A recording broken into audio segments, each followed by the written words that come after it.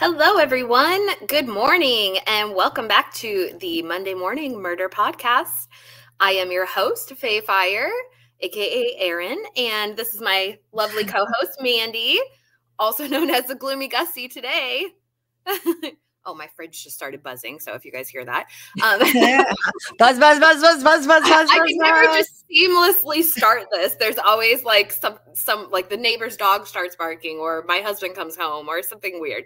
So, but hey, there's not a storm today, so that's the best we can hope for. How are you doing this morning? Um, you know, I'm doing. I'm doing. I had the some great downloads this this weekend, and uh, even this afternoon actually. So things are kind of. I'm getting on a Monday schedule.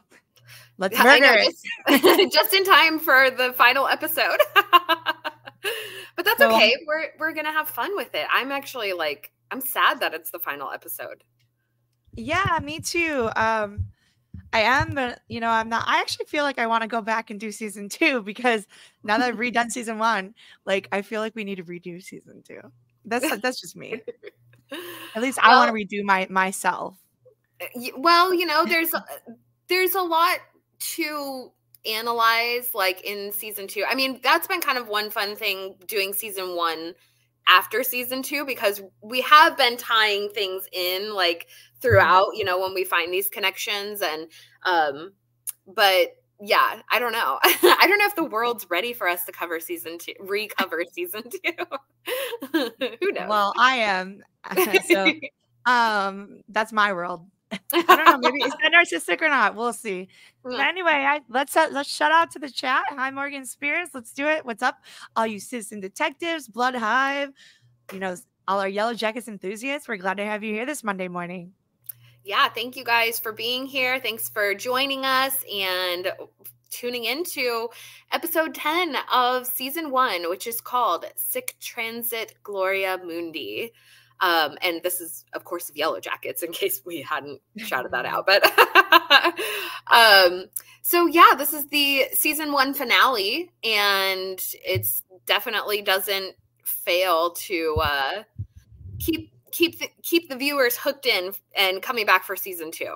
Um, there's a lot to talk about, a lot of tragic moments, and a lot of triumphant moments as well, um, and a party. You know, got to keep that party buzzing. So Wiskayok, class of '96. um, so man, oh, go ahead. I was talking about Randy. you said Randy well, or Mandy? well, Randy, do you want to read us the synopsis of the episode? You know it. Mm-hmm. Uh, where did it go? oh, okay. That's it. Old resentments come to a head at the 25th year reunion. And this is where we're going to pay dirt, baby. yeah, we get an alley. We get our alley moment, an alley uh, revisit. Get to Allie, meet her older counterpart. Allie, you okay? You okay? You okay, Allie? so um, the title of this episode, "Sic Transit Gloria Mundi, is um, a Latin phrase. And it it means thus passes the worldly glory which is kind of another way of saying fame is fleeting and um, this phrase is used uh, actually during the papal coronation ceremony so when they're swearing in a new pope um, they would use this phrase um, as he was being like through the coronation ceremony from 1409 through 1963 so that's 500 plus mm-hmm. years of using this phrase. And so it ha- it is a pretty infamous phrase. It's been used um, in literature and in poetry. Actually em- emily dickinson's first poem was titled sic transit gloria mundi. Um, and we if you guys are into it we can do some book club. We can read through the poem. Yeah. Um, there was also and there's been several instances of of this um, phrase being used. There was another uh, book that was written by Robert Hugh Benson. Um, the novel is called Lord of the World, and it uses the phrase in there, but the the the novel itself seemed pretty interesting to me, so I kind of wanted to like analyze it with you guys a little bit um, because it's been it's been cited as like a um what's how do I want to explain this? Like there have been multiple popes who interpreted this book as sort of a apocalyptic um prophetic like uh what's the word I'm trying to say, Mandy? like a prophetic vision or a prophetic message through yeah. this book. Is that is that the correct wording? Is that what I'm trying to convey? um yeah, like a, yeah, a prophecy. Yes, exactly.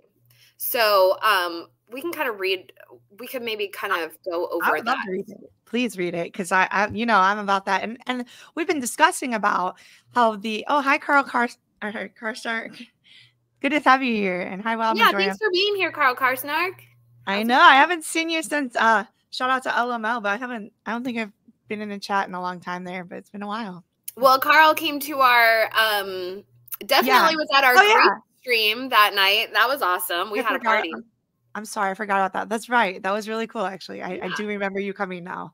Did you get um, your nails done, Mandy? Because they look actually, really good. Yeah, I did. I did. You know, thank you for noticing. I um I yeah, I, I had some self-love time, which you know is very hard sometimes as a mom, but we get it done. And it's weird because I if you know I study energy and I'm really into prophecy as well and the prophets and their anointings and things like that. Um, and I'm trying to work with energy with my hands.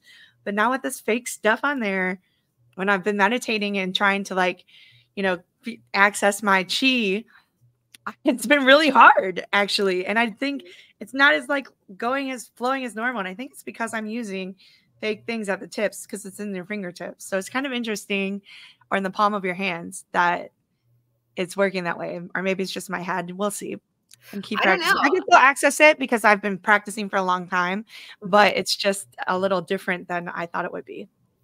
Yeah. I've never actually worn fake nails ever in my life. but I'm no, a little I, like grubber. Yeah.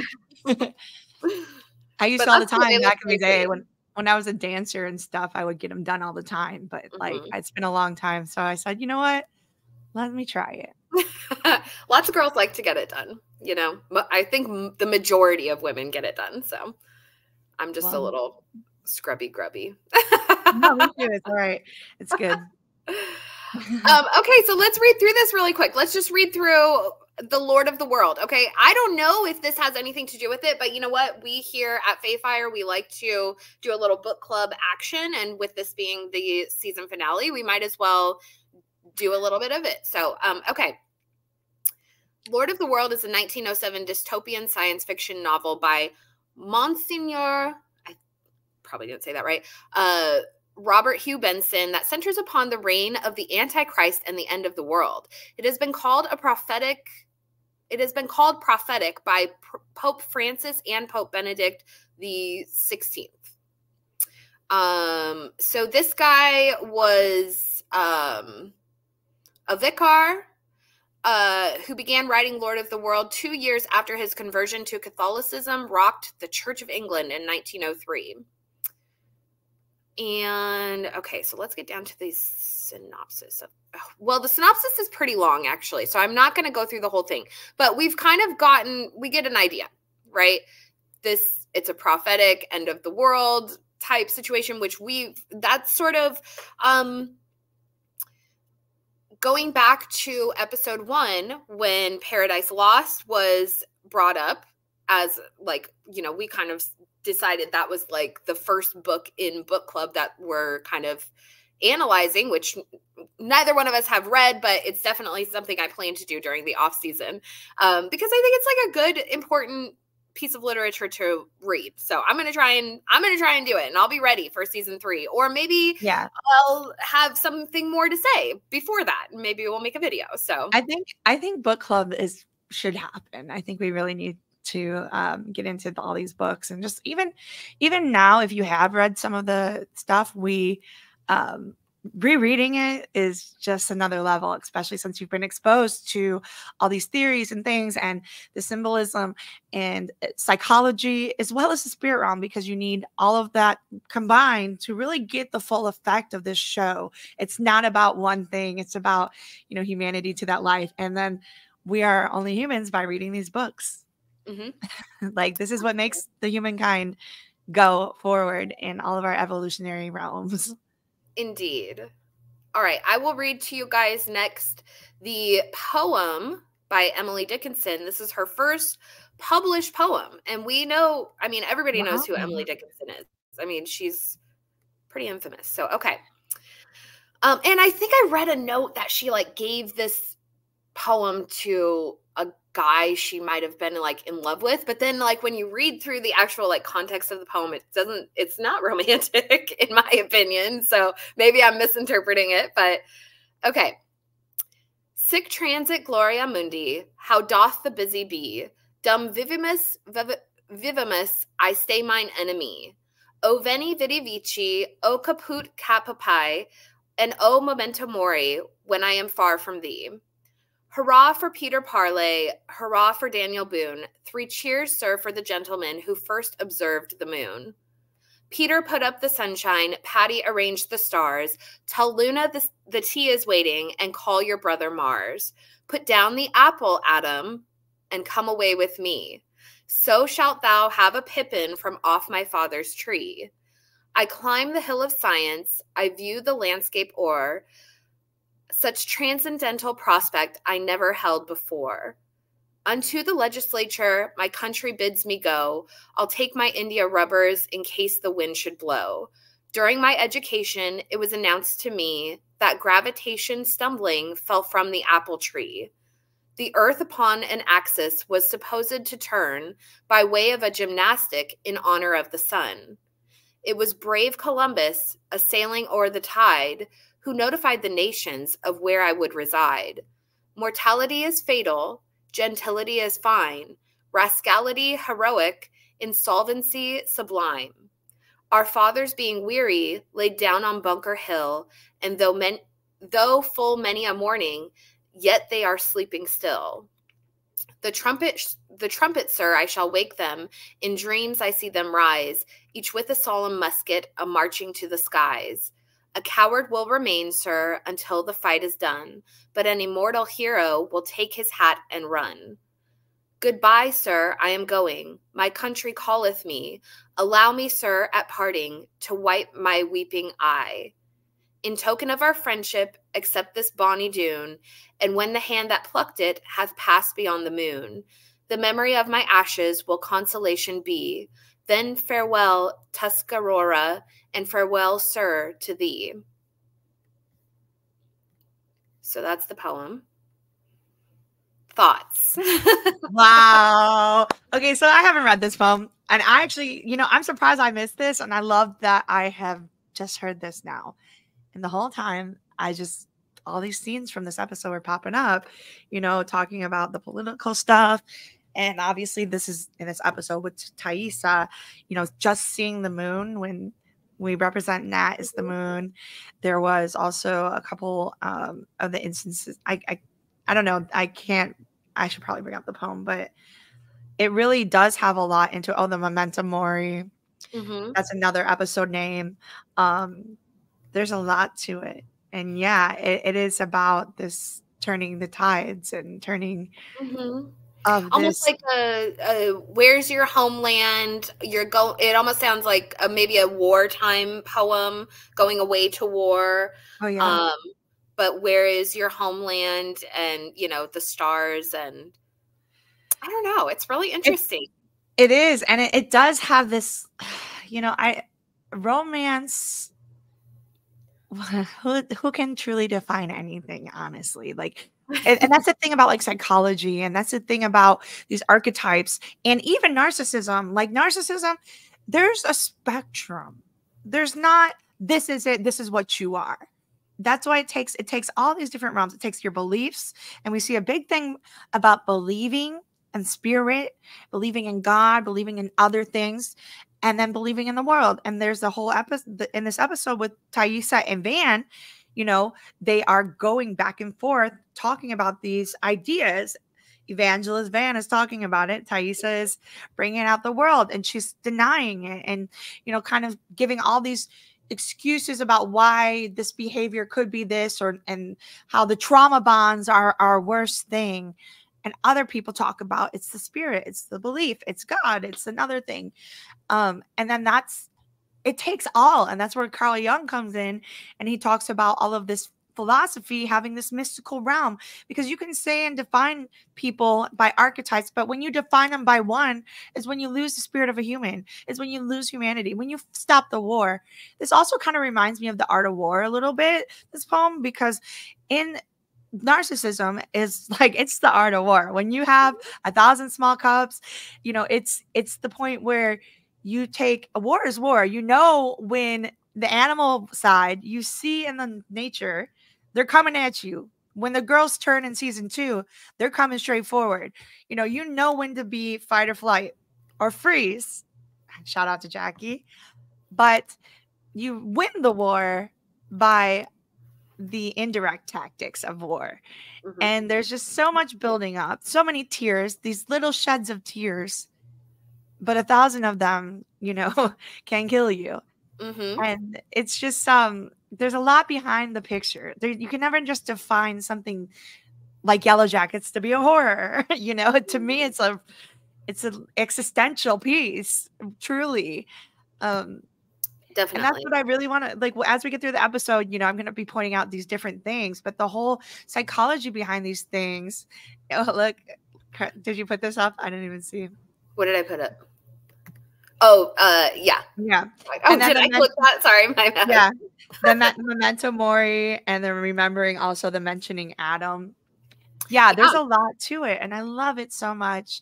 This is such a great writing, and rewatching it over and over and over, I couldn't help but just see more and more and more. And mm-hmm. yeah, I got some really mori. cool stuff this morning. Yeah, even just getting this ready, and yeah, I've been a little distracted this week, so I didn't get as much homework done for this episode as I would have liked to, but I definitely mm-hmm. grabbed a few things right at the end. Um all right. Well, so should we get into this? You you know it.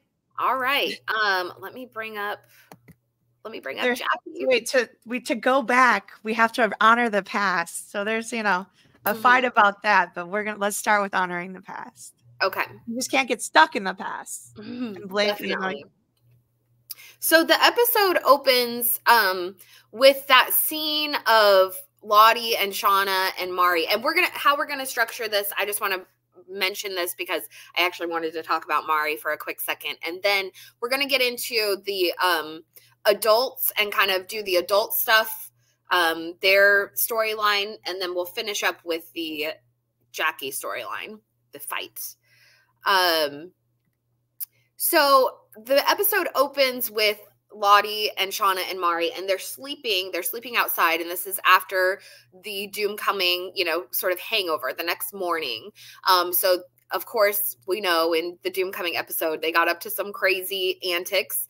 And uh, so now they just fell asleep outside. And I do think like their positions, how they woke up was significant. It was, it almost reminded me of, um, like statues, you know, because they have the Greek overtones and everything. So, um, but Lottie was sleeping in front of the, um, she was sleeping in front of the the stump that she sort of has created into her altar, or we see her do that in the future. Um, so she was sleeping there. And it was, it kind of reminded me just to kind of tie in some like a Song of Ice and Fire lore.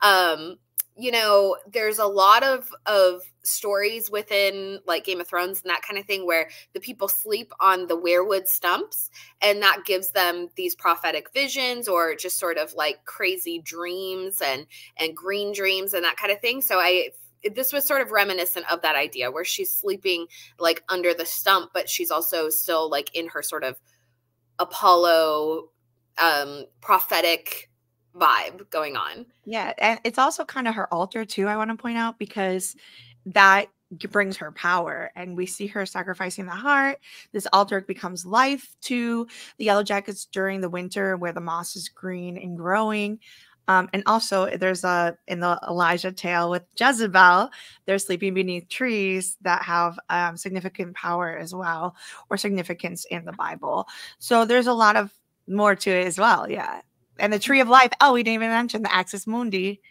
Yeah, totally. Extra, yes. Um, and we talk about that before uh, yeah. with the axis of the world and the Axis Mundi, and then that being it. We've talked about it in season two quite often, actually. So, and I've talked about it actually in my in some of my other. I've talked about it in Raised by Wolves videos, mm-hmm. and I've mm-hmm. also talked about it in Aemond Targaryen videos. So, Aemond the Mund, mm. and that has to do with hand. It has to do with the axis. It, there's a lot to it. Mm-hmm. Like, uh, um, I'm, I shout out to the chat really quick though because this is awesome. Like, we're talking about the Magus. We're gonna, but we're gonna read it again. I mean, we did read it during season two. Actually, we we Charles Dance version mm-hmm. on YouTube, and then this one right here. Nietzsche. Yeah, Nietzsche. I very... love this. I think we have so much of this like and I, I, wasn't even aware. Actually, I think Mandy, you mentioned this like yeah. probably during our Greek stream, and I was like, oh my god, that makes so much sense. Like it's such a, and I see it everywhere now. Like now, I'm like, oh my god, this is such a thing. Um, yeah, the Ap- Apollonian and Dionysian like balance to each other, which is mm-hmm. sort of like underworld versus light, and that kind of really represents a lot of what the symbol shows you know? There's the sort of sun figure in the top. I kind of figure like in my interpretation it's it's like a reincarnation symbol um life death and rebirth. So yeah. yeah. And and and not just that life death rebirth the mysticism realm it puts the two the circle the halo mm-hmm. into the body into the two realms and as long as we have the access it's kind of like you know the revolving of it all and just the combination of it all. And with the hook from the underworld, which we have a lot of Hades in this episode, mm-hmm. we're gonna get to that. But um, it, it is that balance of not just yin and yang, but there's more to the aspect when you add in the philo- philosophy, you add in all of the reasons. And then even in this, I do want to point out like that whole I don't I forget who says it, but you know, the whole thing of the devil, like with narcissism or whatever, is convincing you he doesn't exist. Like the biggest trick of the devil, the biggest trick is convincing you that these things don't exist. Mm-hmm. But you know, the real trick is that all creation is possible. Like realms we can't even under, understand and comprehend. Mm-hmm. So I really believe and like to say, you know, argue, satisfy, drop comments in the chat, do whatever. Like everybody's opinion is welcome. We love to discuss all thoughts and theories as crazy as they can be because that's what it's about. Mm-hmm. Um, and I entertain them all. Like the 14th Gilly, all about it all day. Absolutely. So, like the, what was it, Gilly's hobby? Remember that I on Reddit? There was like uh-uh. that thing. Yeah, we talked about before. There was like a Reddit post by um a user, 14 Gilly is Javi. Get oh, this. yeah. Yeah. But I actually you know, I have a theory about Gilly that came to me yesterday that I'm gonna write. Uh you're, you, you're gonna love it, Erin. Oh, I'm, I'm excited. Stuff now. There has to be something significant about the 14th. Oh, it's, like it has to deal with narcissism. Yeah. No. But um, in narcissism, people think that they're demons. People say that they are demonic spirits. And if you have encouraged and if you have actually seen and had experience with them, you do many people have abused narcissism, especially like malignant narcissists or the um there I didn't believe in spiritual warfare until this came into my life. And now I'm like a living a life, a living a life of spiritual warfare and and to fight it. Like honestly, I'm being called to the guard.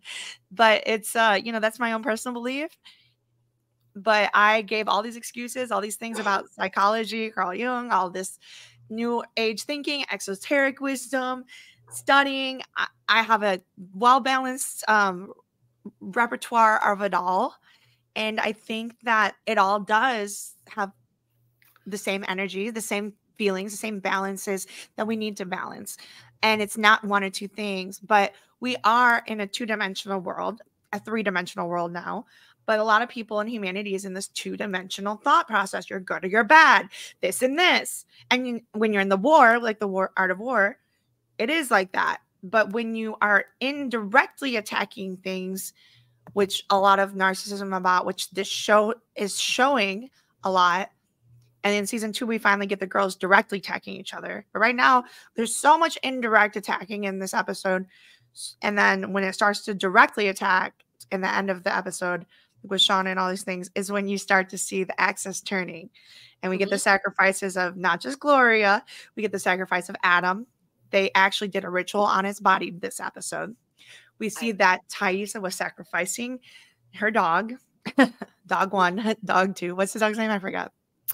Biscuit. Yeah. Biscuit. Yeah. the food. Food. Oh my gosh. It's a food item. Ooh, interesting. Adam's apple, food. Interesting. Yeah. Gilly is a food too because she shoves her out in the mouth. But Mhm. she, but you know why Nat does that? Well, she is a fish, but that's also like Jesus symbolism. Mhm. Mhm. But you know why Nat does that too? Is and Nat not walking on water, but it's because the narcissist feeds on you, and she was finally so the fish. It only remembers like every thirty seconds, you know, like Mhm. finding Dory. Like, what do you remember? Narcissist. I don't know, Shauna. I don't know. What do I remember? I don't know. I- I- what you don't remember? No, you choose not to remember. They choose she even to says rather. that in season two. She says, you know, I like if there's things that I don't remember, then I don't even Mhm. want to know.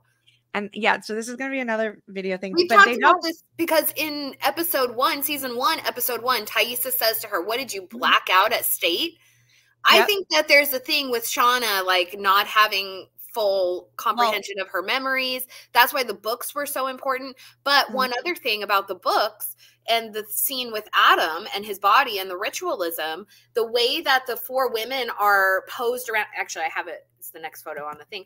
Um, the way the four women are posed around his body is um reminiscent of how her books were when she burns her books in season two and she puts them in the the barbecue grill there's for some reason it just stood out in my mind it's like maybe it's because it's like the Mhm. geometry of the situation or something like that but it's just the way she positioned them seems very reminiscent of the way that the women stand here and it's all sort of interwoven because that she was burning adam's um, id and like his you know whatever his sim card or whatever it was um, and then her books on top of that and so that's like her memories her comprehension of things and you know we've talked about do we think she burned all of her her diaries i don't know that's still up for debate Yeah. um Oh, so, this yeah. is a good. This is a good. Uh, did Ty take Adam's heart?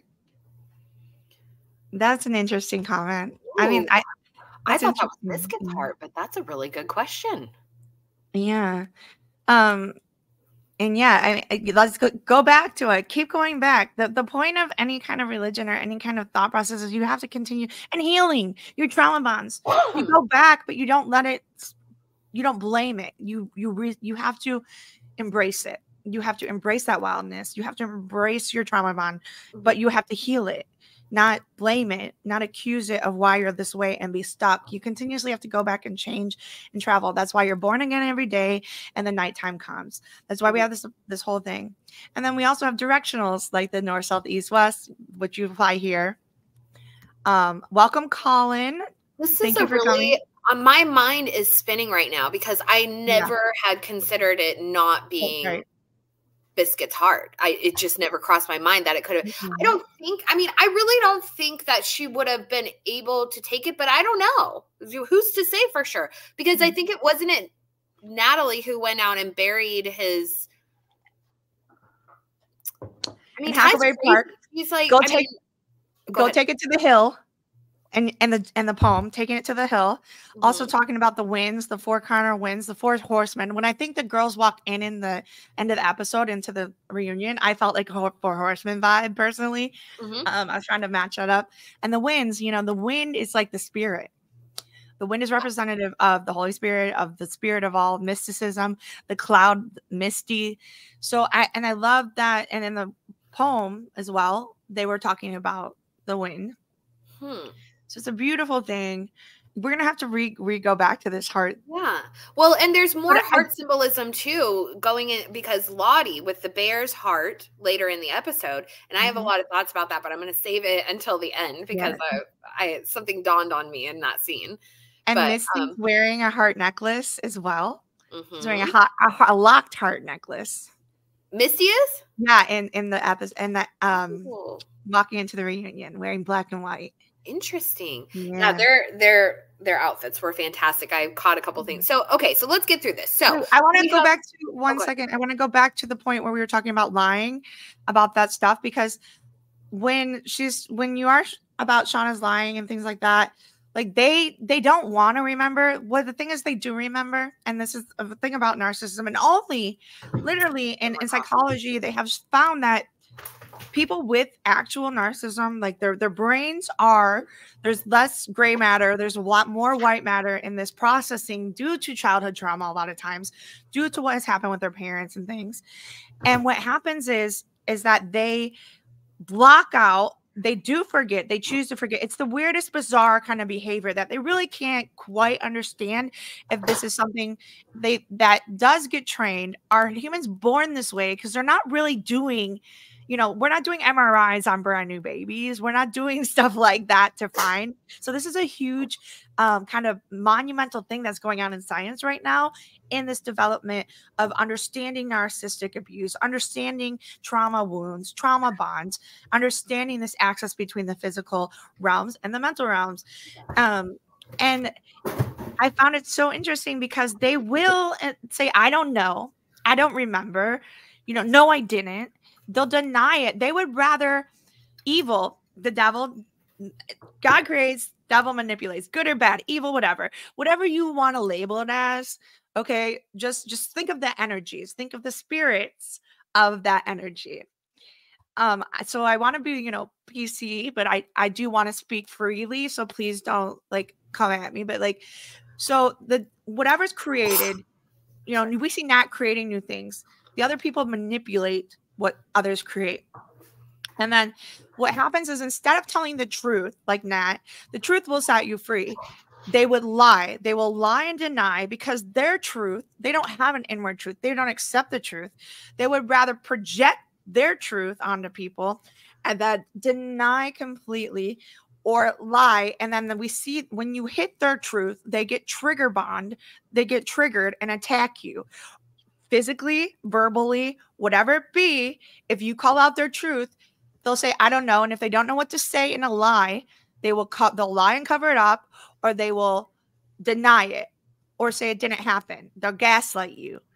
You know, they'll say, but this actually, this scene specifically is when finally Shauna's telling the truth. But then well, she ends up gaslighting a yeah. little. Yeah.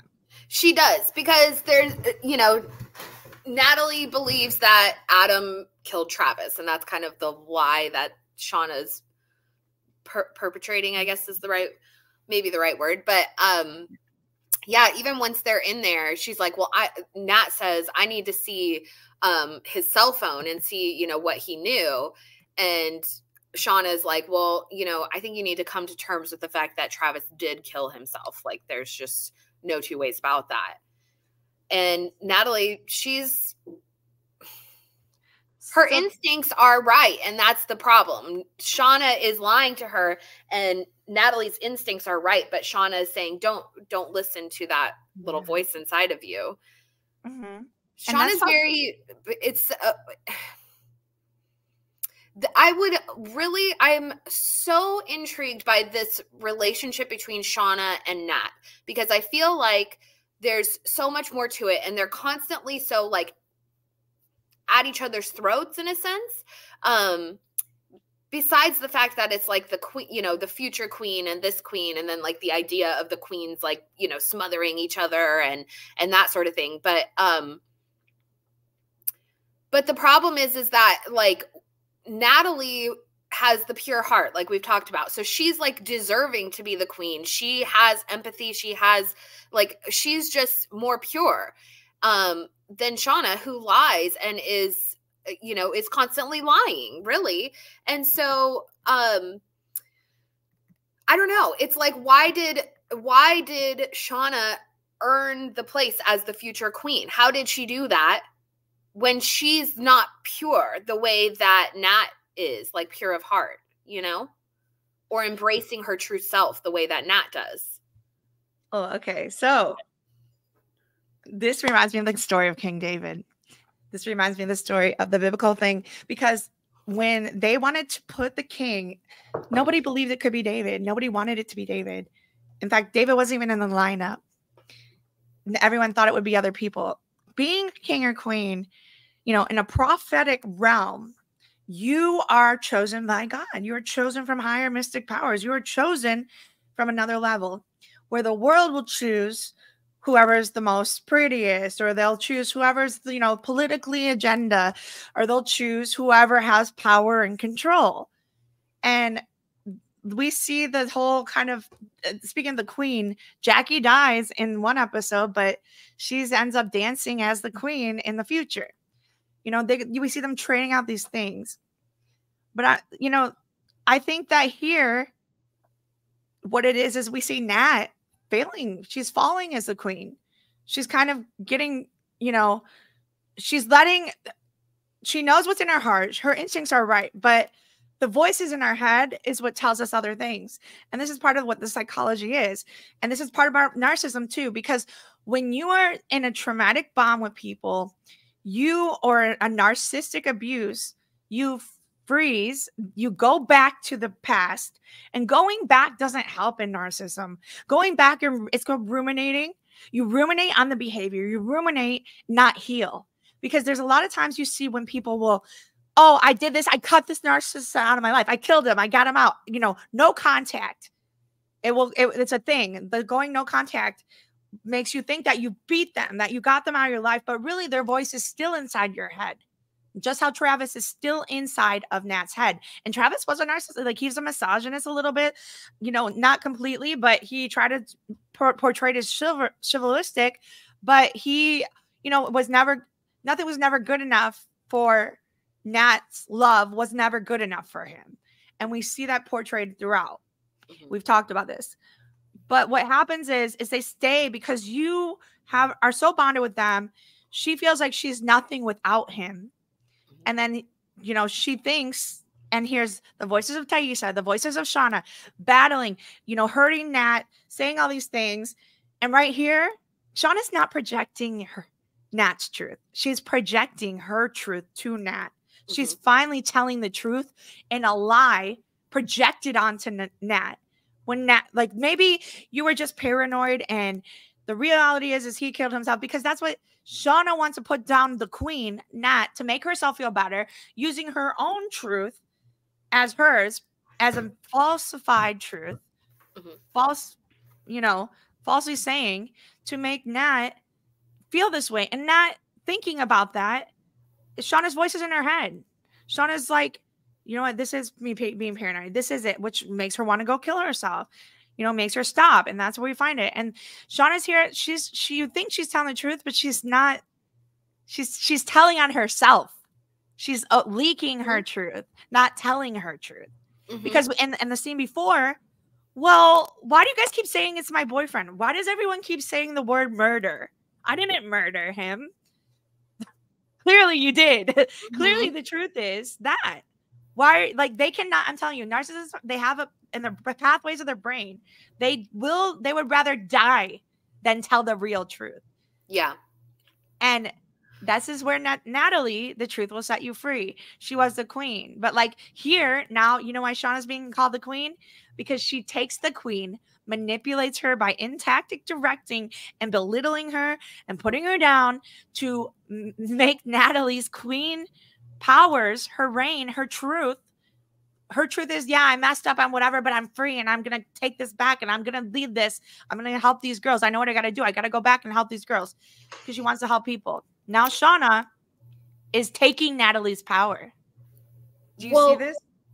She is. And it's in a devious like way. And so Indirect. this is Indirect where art. actually, if we consider that, you know, Shauna is not pure of heart, she's actually pretty dark hearted. She's lower vibrational. She's operating from like her darker impulses, right? She always does. And let's be real, okay? We are getting way ahead of ourselves, but when we go back to season two, episode nine, Shauna is the one who draws the queen card. So really, she was chosen to die by the cards, you know, by the the way of the cards. Now, from what we've seen in season 2 with Nat and when she chose the card, she was she sort of out, she outsmarted the situation. She outplayed the wilderness, right? But still Javi died and took her place.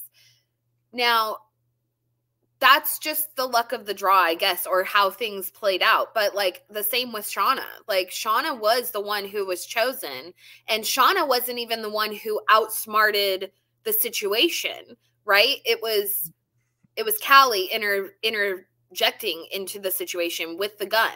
And so this is why I'm starting to lean more and more towards the idea that Callie is like she actually showed her strength there. And I don't know if maybe even if the wilderness like took her into consideration in whatever sort of oh, cosmic like, you know, rule balance of of whatever.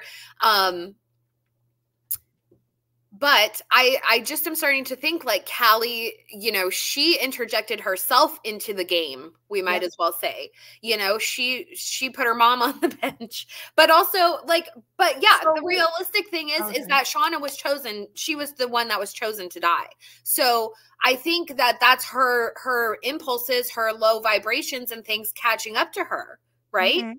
Yeah, Versus, yeah. Go, go ahead. So okay, so the heart thing again, and, and actually this is this was the point of the King David bring up, but I went off tangent. But um, so the hard thing again about King David, King David is a is also a prophet, a prophetic person, and he was chosen because of his heart. He was given the authority and power because of his heart. Joseph, the crown of money color, sold into slavery, enslaved by his brothers and sisters, his family.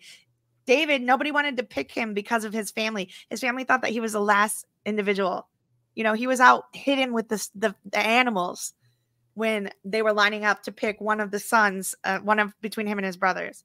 Mm-hmm. You know, um, or no, I think that was Joseph. I mean, but what anyway. So the point is, is that they claim David to be a king after God's own heart because he had that heart. He knew he had flaws, and one of his flaws was sexual deviancy mm-hmm. with Bathsheba, um, which we see that here. Shauna has sexual deviancy problems. Mm-hmm. And Jeff already already knew it, right? He's like, that was our thing. That was our lie. This was our truth. But she's been living a lie. She's been living Jackie's lie. She you see her at the end of this episode, Jeff, and they're all watching the TV. They have a perfect house, which is pink and green together. Their daughter's Jackie. She's playing the role of kind of Jackie. And we see her becoming the queen because she kills Jackie and this whole sacrificial sacrificial thing the wilderness froze and took Jackie mm-hmm. because she took what wasn't hers. Mm-hmm. Like I feel like there was a kind of little payback there. The dirt payback was coming yeah. back to Jackie.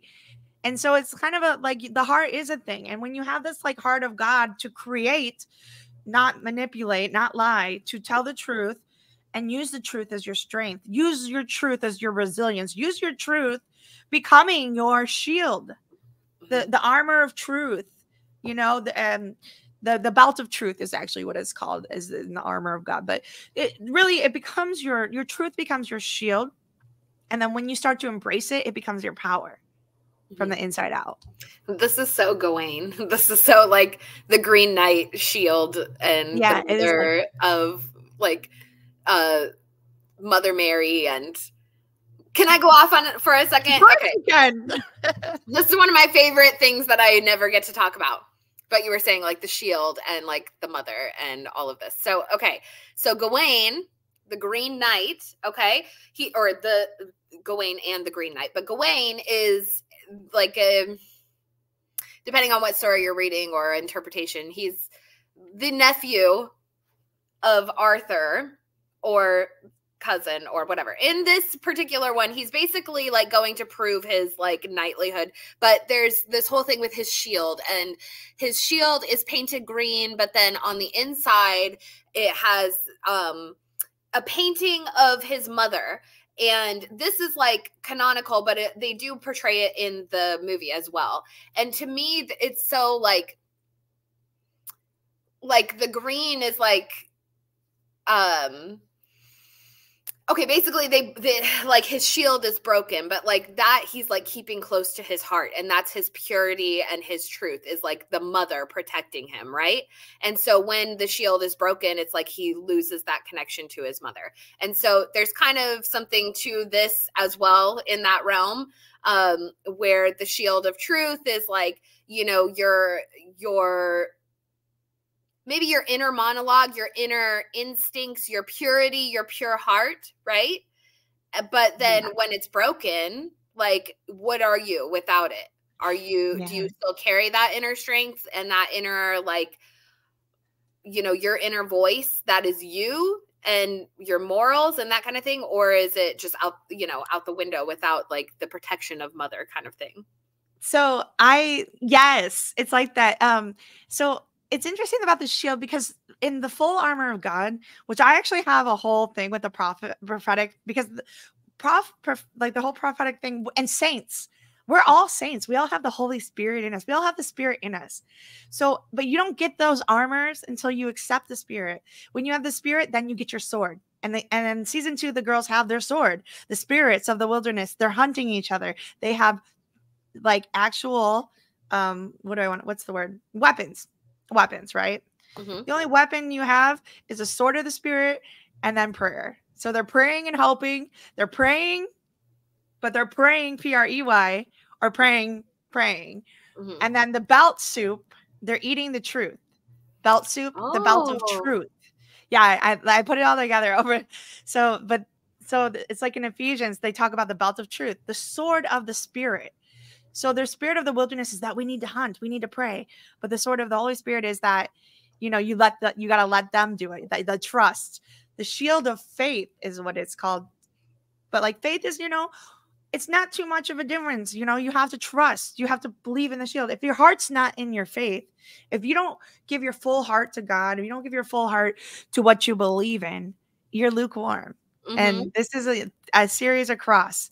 You know, Carl Jung gives his full heart into believing the and his full life into developing psychology as a part of a mystic realm. Mm-hmm. Like, you know, all of these beliefs, you don't have this whole thing. Helmet of salvation, breastplate of righteousness. You know, when you do it, the heart, you're looking to be right, you're looking to be righteous, you're able to uh, dissect the heart. People are able to attack That's it. Gonna, uh, think about Nat right? and Nat and Travis and them wearing like the magazines and stuff mm-hmm. underneath their clothes to like keep them warm and protected. You see it, I know. So I, I I wrote like a whole little thing about it too that I'm hoping to make a video for for your channel. Hopefully, I know. Um, yeah, there's a lot to it. I like this because they do all sort of have these little like pieces that are significant to them, mm-hmm. which ties into like the Greek mythology stuff, of course, because they all kind of have their own individual individual like things like with Shauna and Demeter and like being the corn goddess and her being mm-hmm. associated with all the food things and being in the kitchen and cooking and that kind of thing. Um, mm-hmm. But yeah, I like this. I like what you're onto here and the thing is, is like that the breastplate, you know, shields you shields your organs from the battle. It shields your thing, and the and the whole thing about it is like people think that this is not a battle. It's not a battle in the spiritual realm. They think that the spiritual realm doesn't exist. Well, it does because let me tell you, manifestation, the whole idea, what you think becomes reality, because it does, because everything starts in your mind. It starts in the spiritual realm. You start to create in this third dimension, in this you know other plane of existence that humanity has you know the, the conscious the inner conscious stuff everything has an energy with it and it's it becomes this belt of truth and when you have that truth in there that you understand it not only do you know your belief system but you are able to understand how the enemy is attacking you mm-hmm. and we see this between the Taissa and Van having that kind of thing. We see this mm-hmm. right here in this episode. She is literally being sold all these these lies by Shauna. It's it's it's, it's Shauna's truth, mm-hmm. but it's not her truth. And so this is such a perfect scene to ex- like explain this. Mm-hmm. Yeah, you can see like Julia, she's so good. Julia, she's like her face here because you can see it's like she's she she can read all over Shauna that she's feeding her a crock of shit. And like but she's sitting there and she's listening. And that's one thing about Natalie's character is she's so she's very good at listening to people dig themselves in a hole. And she sits there and she puts this face on and she's just like like and she did she did it in um when they were in Tai's car or Shauna's van, whatever vehicle they were in. She does it every now and again where we see her like, or even with Misty, she just listens and she, you can tell mm-hmm. she sees right through what they're saying. Yeah. And one other quick thing I wanted to point out in this scene, and I don't know if it was intentional. I really don't think it was, but I think it was such a perfect touch. Is there's a fly, there's a fly yeah. in the background behind Natalie, and the spirit of shit. Yeah, Beelzebub, right up there. Also associated with death and like, um, you know, it's like a bad omen, right? Sometimes they'll be included in in ancient paintings, not ancient, but like a Renaissance and that kind of thing, as like a little, um, like there's it's just like a little overtone. I'm not an art person. Yeah, they know these sometimes symbolism and things. Yeah, it's just like a yeah. So, um I just thought it was a really good touch because I feel like mm. maybe in other circumstances they'd be like, crap, there's a fly in the background. But this one, they're literally dealing with a dead body. Um, and Shauna is giving her, uh, you know, just a load of BS. And so it just was kind of perfect that, like, yeah. her face when she's sitting here, just like, you know, like, and, and she's on a toilet. Yeah on the toilet. Exactly. I'm telling you, it's the Beelzebub demon spirit because I feel like Shauna gives a lot of that stuff too. We have the um, Jezebel spirit, demon mm-hmm. type stuff. If we're talking geometry, she's a monitoring sp- spirit. So, and not just this, like the influence of Misty is getting inside of Nat's head too. Mm-hmm. Because, and you see, that's why I think the symbolism of her locked heart is big deal because Mon- Misty's all monitoring all the time Mm-hmm. She's talking about, did you shut off your phone? Shut off your phones immediately. Mm-hmm. Burn your phones. Do this because she knows that because she mm-hmm. monitors them all on their phones. And now Nat not only hears her head, like Misty, I need his phone. I need his phone to know what he did it. I need his phone to do this. I need to go through their phone. When you go through narcissist abuse, you go through their stuff. They monitor you too. You you start monitoring each other. It's crazy because like I, you know, I'll be the first one to tell you, I never monitored any of my boyfriend's phones, any of the stuff ever. Then I went through this narcissistic abuse, and I had this gut feeling stuff was happening, right? Mm-hmm my gut and i was like ignoring it no he provides he does this stuff you give all these things you ignore your gut feeling just like that but you know in your gut what's right. You feel it. And then finally, when you open up that world, when I opened up the phone, I found it. Oh, I found it. And I found years of it. And I found years of my life being a lie. Mm-hmm. Everything I thought, all the memories I made, even me getting pregnant, it was a lie, apparently. Right? It was a, oh, I didn't mean to. But no, in, in my mind, we did to. We meant to. My baby, like, you know what I mean? Is that my baby was born uh, because I meant to, I wanted to, and I loved it in my belly was love passing through the baby. But when I read that, my whole storyline changed. My whole life changed. My whole traumatic wounds opened up. And I'm sharing this not to, you know, I kind of am a little bit dumping, but at the same time, I'm doing it in hopes to help you guys see as a, as another storyline in opposed to this one that these things happen and they trigger you, and and and you end up these whole things are lies. So when you become you, and I became a monitoring spirit myself, I wanted to always be like he's doing it. I found all this stuff. What is he saying? What is he doing? Like, and then I, I became obsessed. And you see, Nat becomes obsessed. And so she is being told she's obsessed as well by Shauna. Mm-hmm. And then the end of the episode, she ends up taking all the stuff, thinking she's obsessed, and dumping it in the trash because Shauna's voice, the spirit of Beelzebub, the trash demon, the one that smells like shit, the dong demon, the, the one that comes with death and lies, and they come in multiple pairs. Um, monitoring so Shauna a monitoring spirit. Yeah, because she's, you know, um, Lottie's got Jezebel. Misty is kind of, I'm still figuring it out, but th- there is this whole spirit inside her that, and the narcissistic voices of the other narcissists. Misty's clearly a psychopath. Sean is a socio, uh, hidden sociopath, psychopath, dark triad. They get into your head, and then that's when the rumination starts to occur. That's when the rumination comes. And in Jackie and Shauna in the past, when Jackie's ruminating all these voices, well, maybe this is the best I'm going to be. Maybe this is all this fear, devil gets you by fear, evil gets you by fear. Once it's in your head, instead of holding the sword of victory, instead of holding and knowing that you're going to have a victory, that I'm going to figure this out, you doubt. You become afraid. And what and monitoring Misty, you know, not only is she monitoring here, she's manipulating, she's doing stuff. She she clearly tells you all these things about the phone. And then when again, back to the point, is that it, it ended up getting inside a Nat where Nat just needed to monitor everything. She was trying to break into bank accounts because the whole time Misty's like leading her into that, the mm-hmm. whole buildup, right? And then she's like, "Crazy, you're crazy, you're crazy." And no, I didn't think of that. No, I wasn't thinking like that because you don't realize that people do not think like you. Like you learn, it becomes a custom, especially with like narcissism. Like I kind of you, you if you have a good heart, you think that most people are going to have a good heart. You don't even realize that you're fighting a spiritual warfare until you are literally hit by these kinds of evils and people mm-hmm. manipulating and people breaking into your bank accounts and people doing things like that.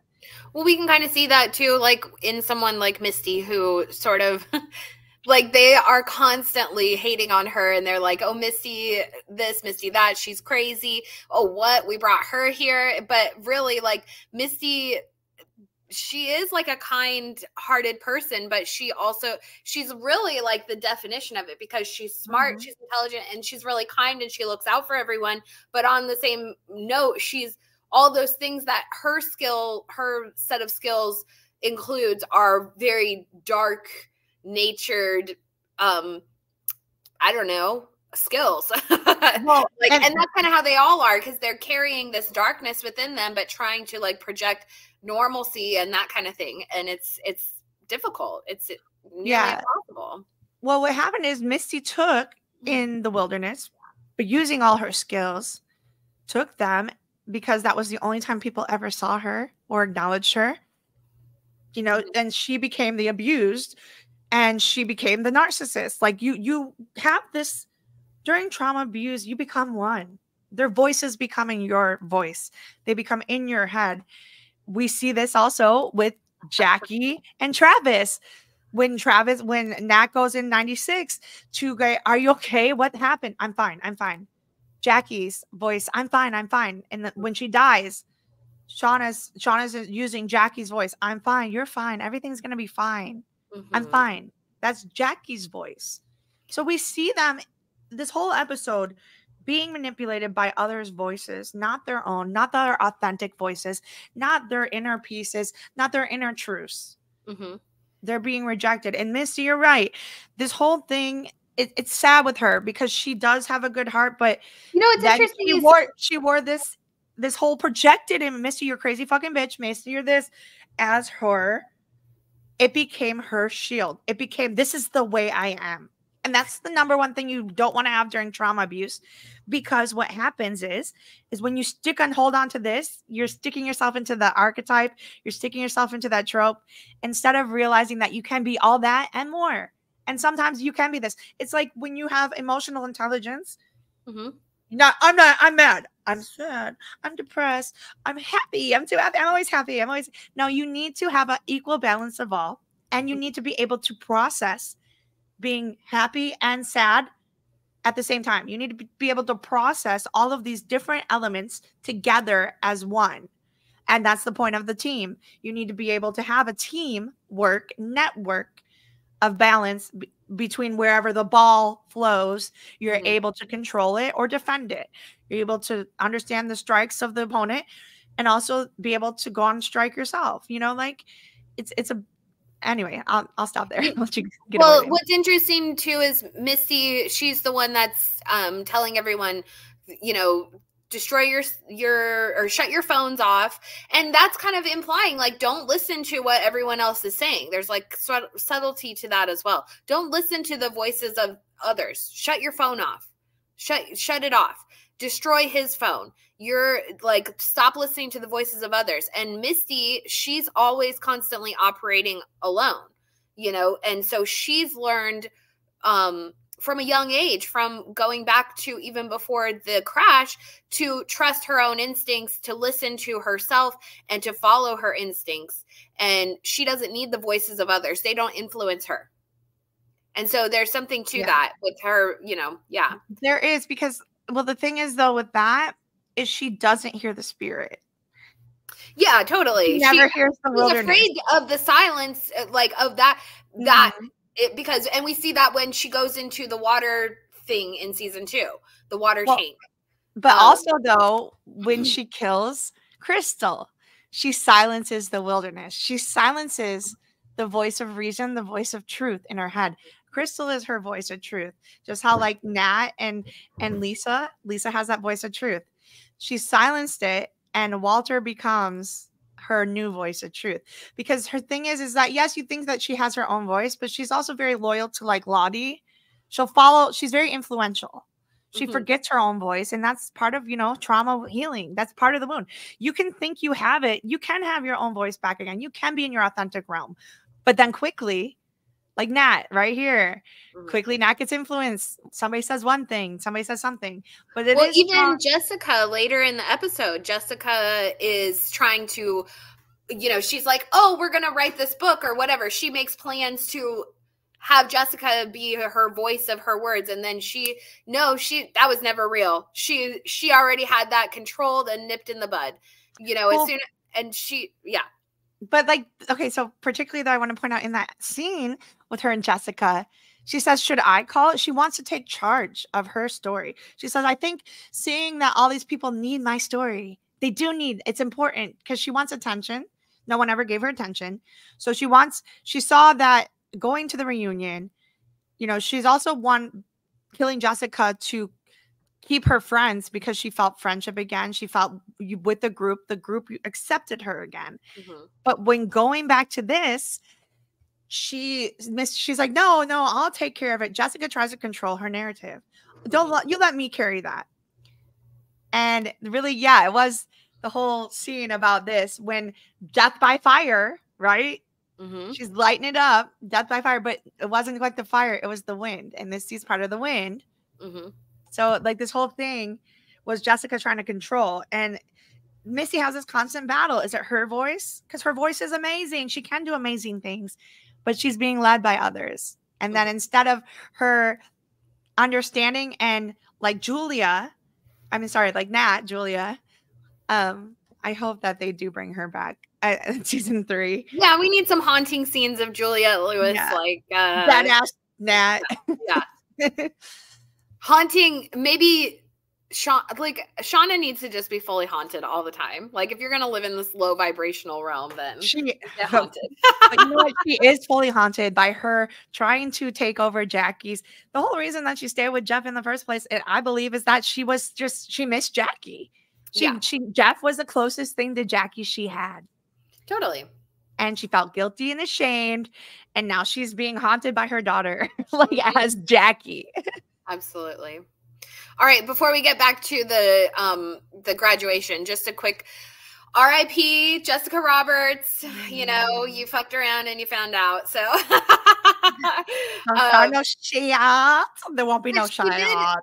interestingly, you know, she had that moment before Misty un unlocked her um handcuffs and stuff. She basically like kind of made confession, I feel. Like she was like you know, saying basically if you haven't I don't remember what she said, but something to the effect of like you don't You know what I do for me at all if you haven't if you don't understand like so and so about me. Anyways, You know what I do for a living?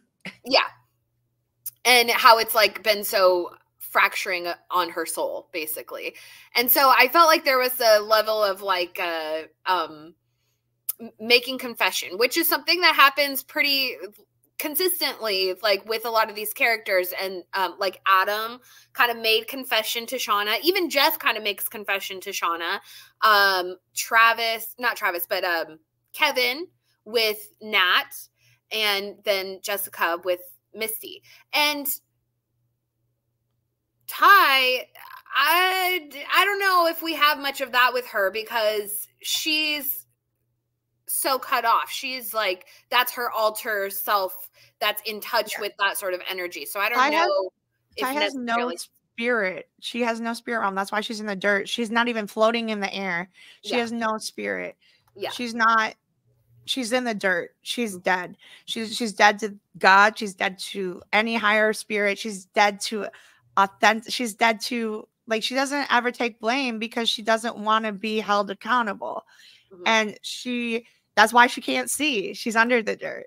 That's why she has no eyes. The only the, the truth will set you free.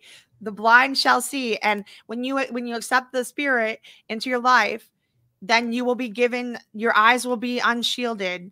Mm-hmm. And and then you'll start to be given wisdom and you will start to see things. But um, you know, she's paying the dirt. But also the whole thing about like this confession, another word for that is repent.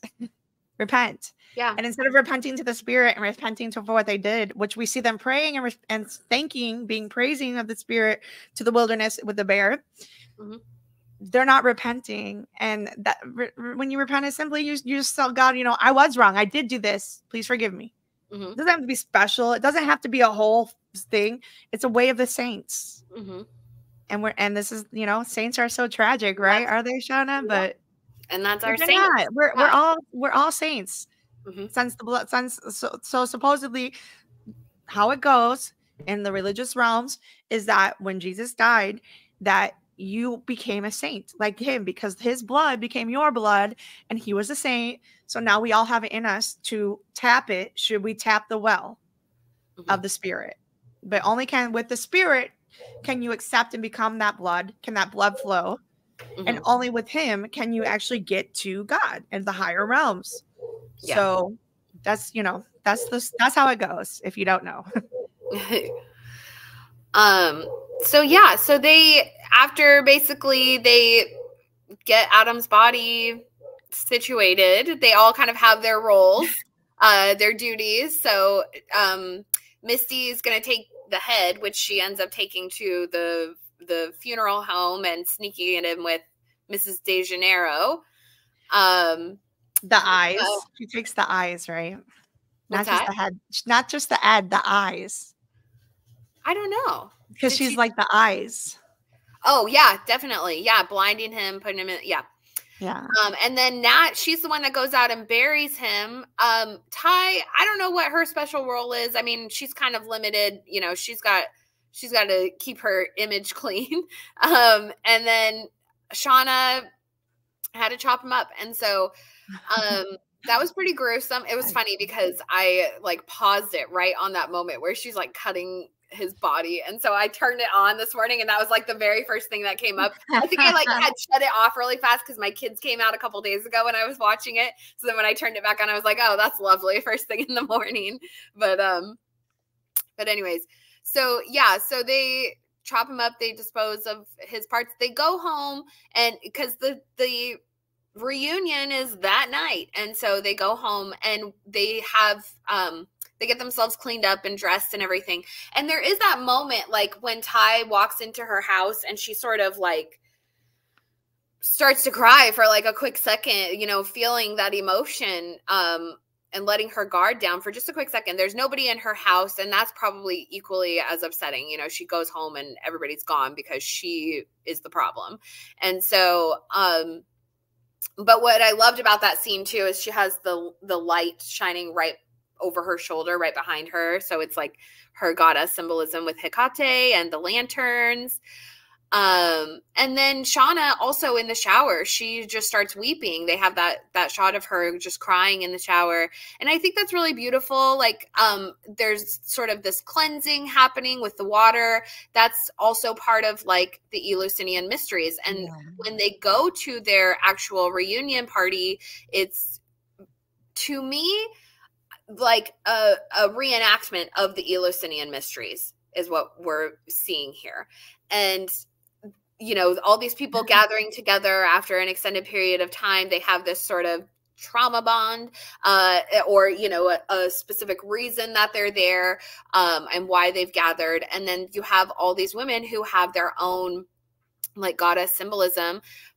Mind you also their outfits here in this scene are like so perfect for their goddess parallels like with misty being sort of athena circe she's wearing kind of like a doctor's outfit is what it's reminiscent of. Um, and then we have Natalie, and she sort of has this like one shoulder, like um, it's kind of like a toga style. Um, but also still very wild. It's got like the layers and and the stripes, and so we have that sort of like the fading, like we do with the the editing that they do in the show. Um, and then with Tai, she's wearing all black, so it's very like Hecate, you know, um, and her like darker association. And then with Shauna in particular, okay? Let's talk about mm-hmm. Shauna's mm-hmm. dress yeah. that Jeff got for her. Now we know in episode 9 he went out and he got her like that yellow dress and it was very much not her. So he got her another dress and it's purple. And you know what I noticed this morning is, is it purple or is it blue?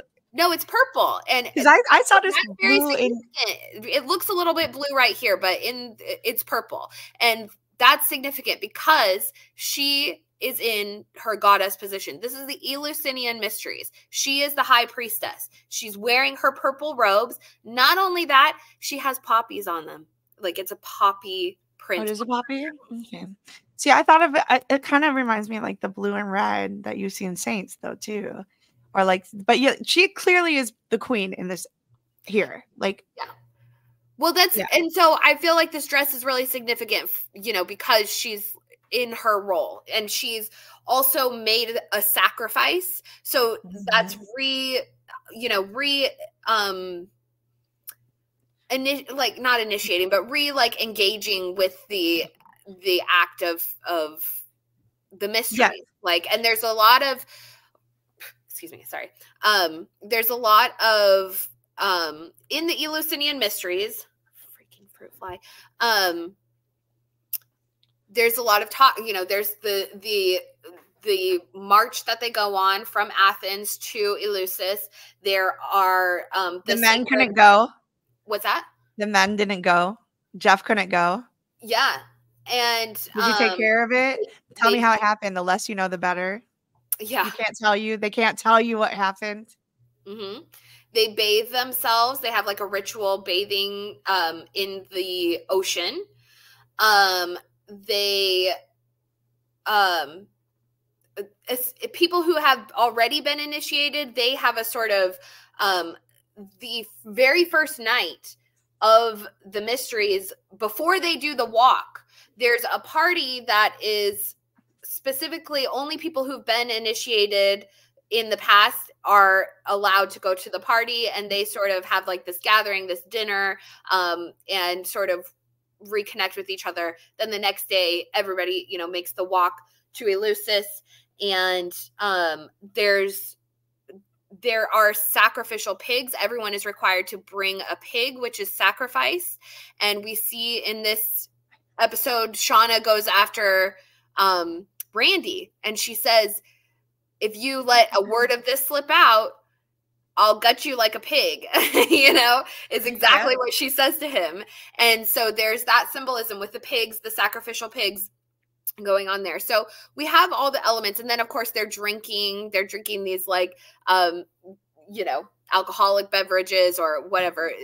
Alter, alter yeah, the spirit. and so and that happens at Eleusis. Once they get to the main temple, they drink kykeon is what it's called, which is a psychedelic beverage, although they don't know the exact ingredients of it or what, you know, ex- the exact like um, what the exact recipe was, whether it was based with mushrooms or if it may have been ergot or some other psychedelic um, thing that was going on. But also, these people they had been fasting.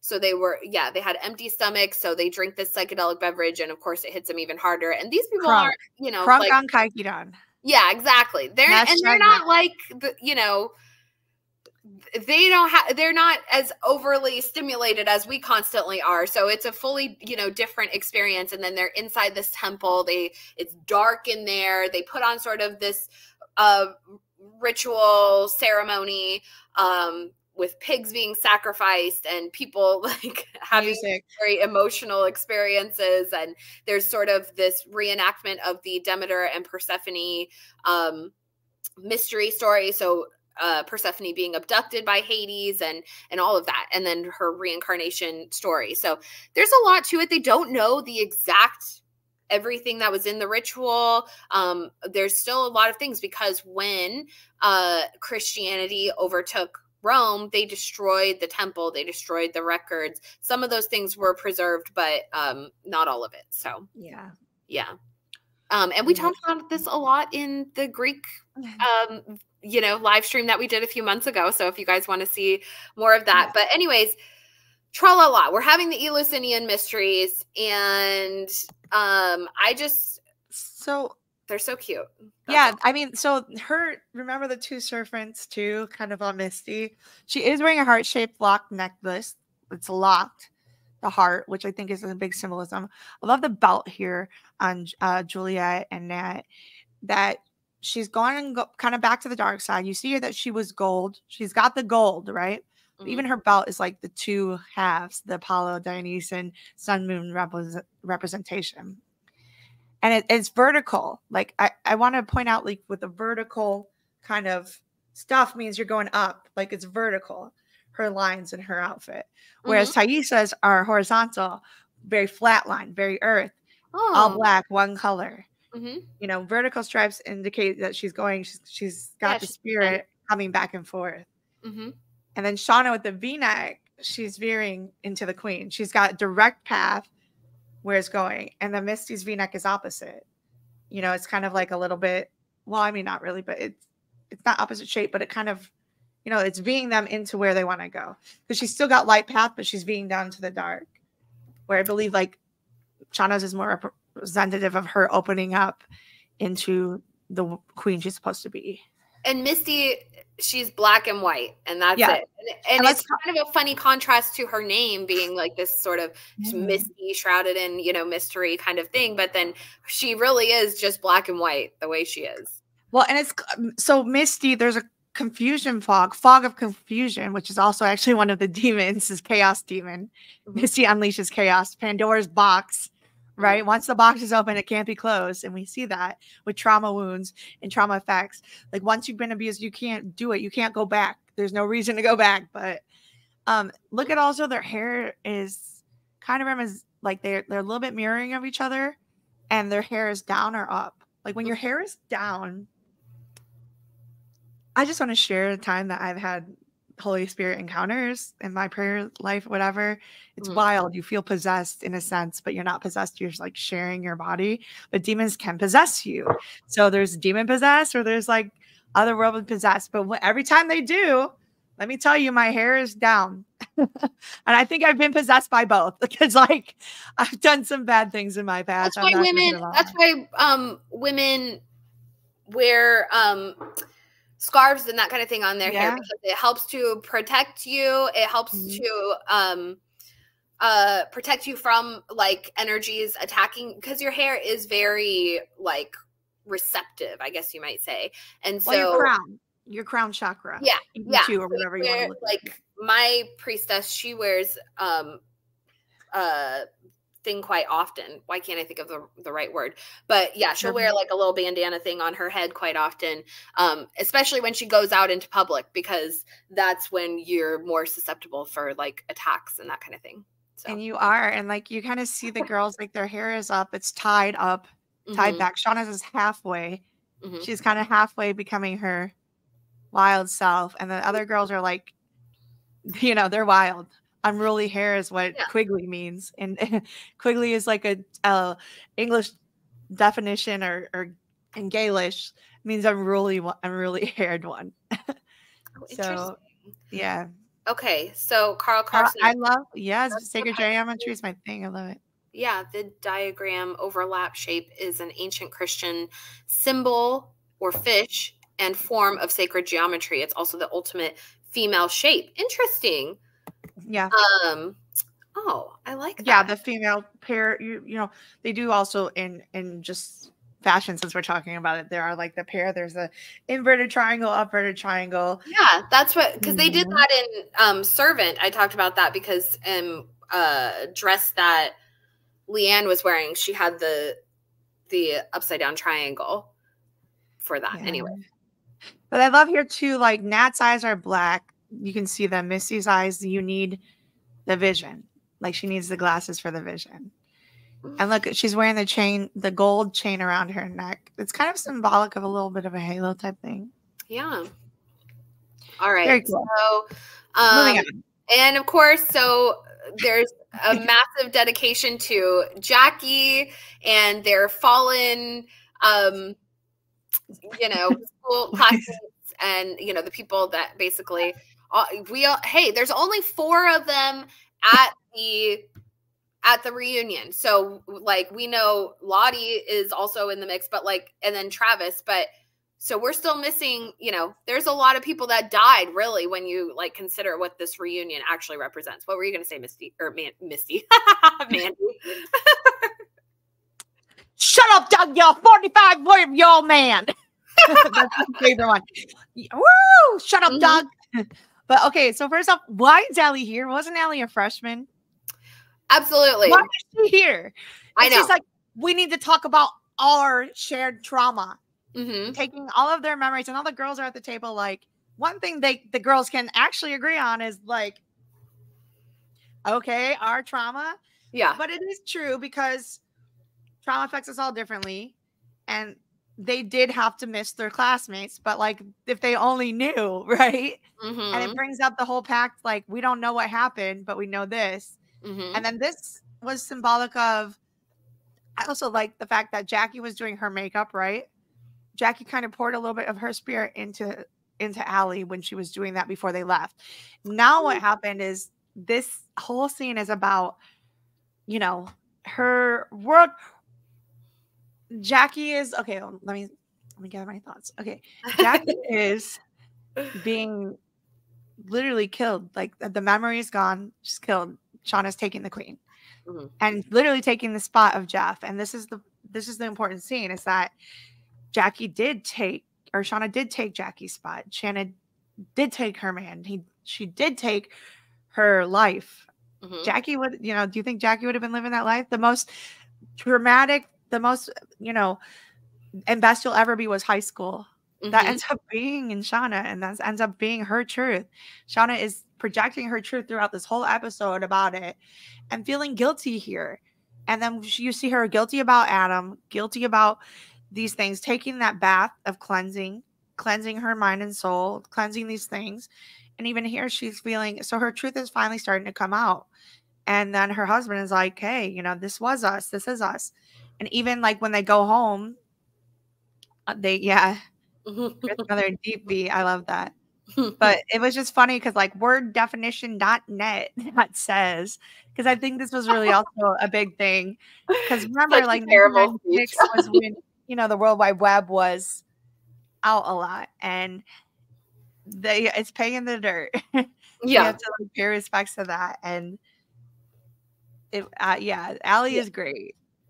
Allie, she is so funny. And yeah, I and of course she has that crazy New Jersey accent, which is so yeah. funny because no one else really has it. Like Nat, younger Nat sort of had a little bit of it. Um, but nobody else really got that accent. And so it is kind of funny that she really, yeah, lays into it. And yeah, it is interesting that she's even there because clearly she just wants to be part of the group. You know, she's not even in their same class. And she says she was the class chair or something like that. But that would be for her class, right? Not yeah. for the senior class. It was her excuse to be there to try to yeah. like be part of the team, like Misty is too, yeah. which you see when they're walking in, she's getting all this attention, mm-hmm. which pro, you know, kind of spikes her to go on to that Jessica moment where we see Misty is ready to tell her story mm-hmm. because Misty's story, that's all she wants the whole time is to tell her story. She wants to be the main character of the page. We also get that quote from Shauna. We're just the sidekicks in your life, Jackie. Well, did I make you be in the in the mm-hmm. past? But it's it, there's something behind it. And then this whole trauma bond that she's holding on to that that she didn't get to be part of the team. Same as Misty. And, mm-hmm. and the funny thing is, is that Allie is wearing her name tag too. I don't think you really see very many people wearing the name tag. Just because like everyone's like, Who are you? yeah. Take a picture, right? Take a picture. Come get us, come get us. And then all the girls like they're like, I'm not wearing a name tag. Yeah. I also well, everyone knows who they are. They're yeah. you know infamous in in their lore another thing, their school. yeah, another thing I noticed is when the girls are walking in, right? Misty's already there, of course, because she's mm-hmm. She's the miss, she's the win. But Shauna and Taissa have this, they just make fun of people as their bond. They hold their trauma bonds together because, and you realize during their trauma bonds and when Jackie died and when, and, and then their other bonds together, they don't really talk that much unless they're in bed together.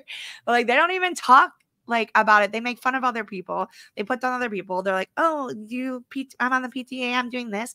Oh yeah. And just always projecting. And even yeah. at the table, Taissa oh, says, okay.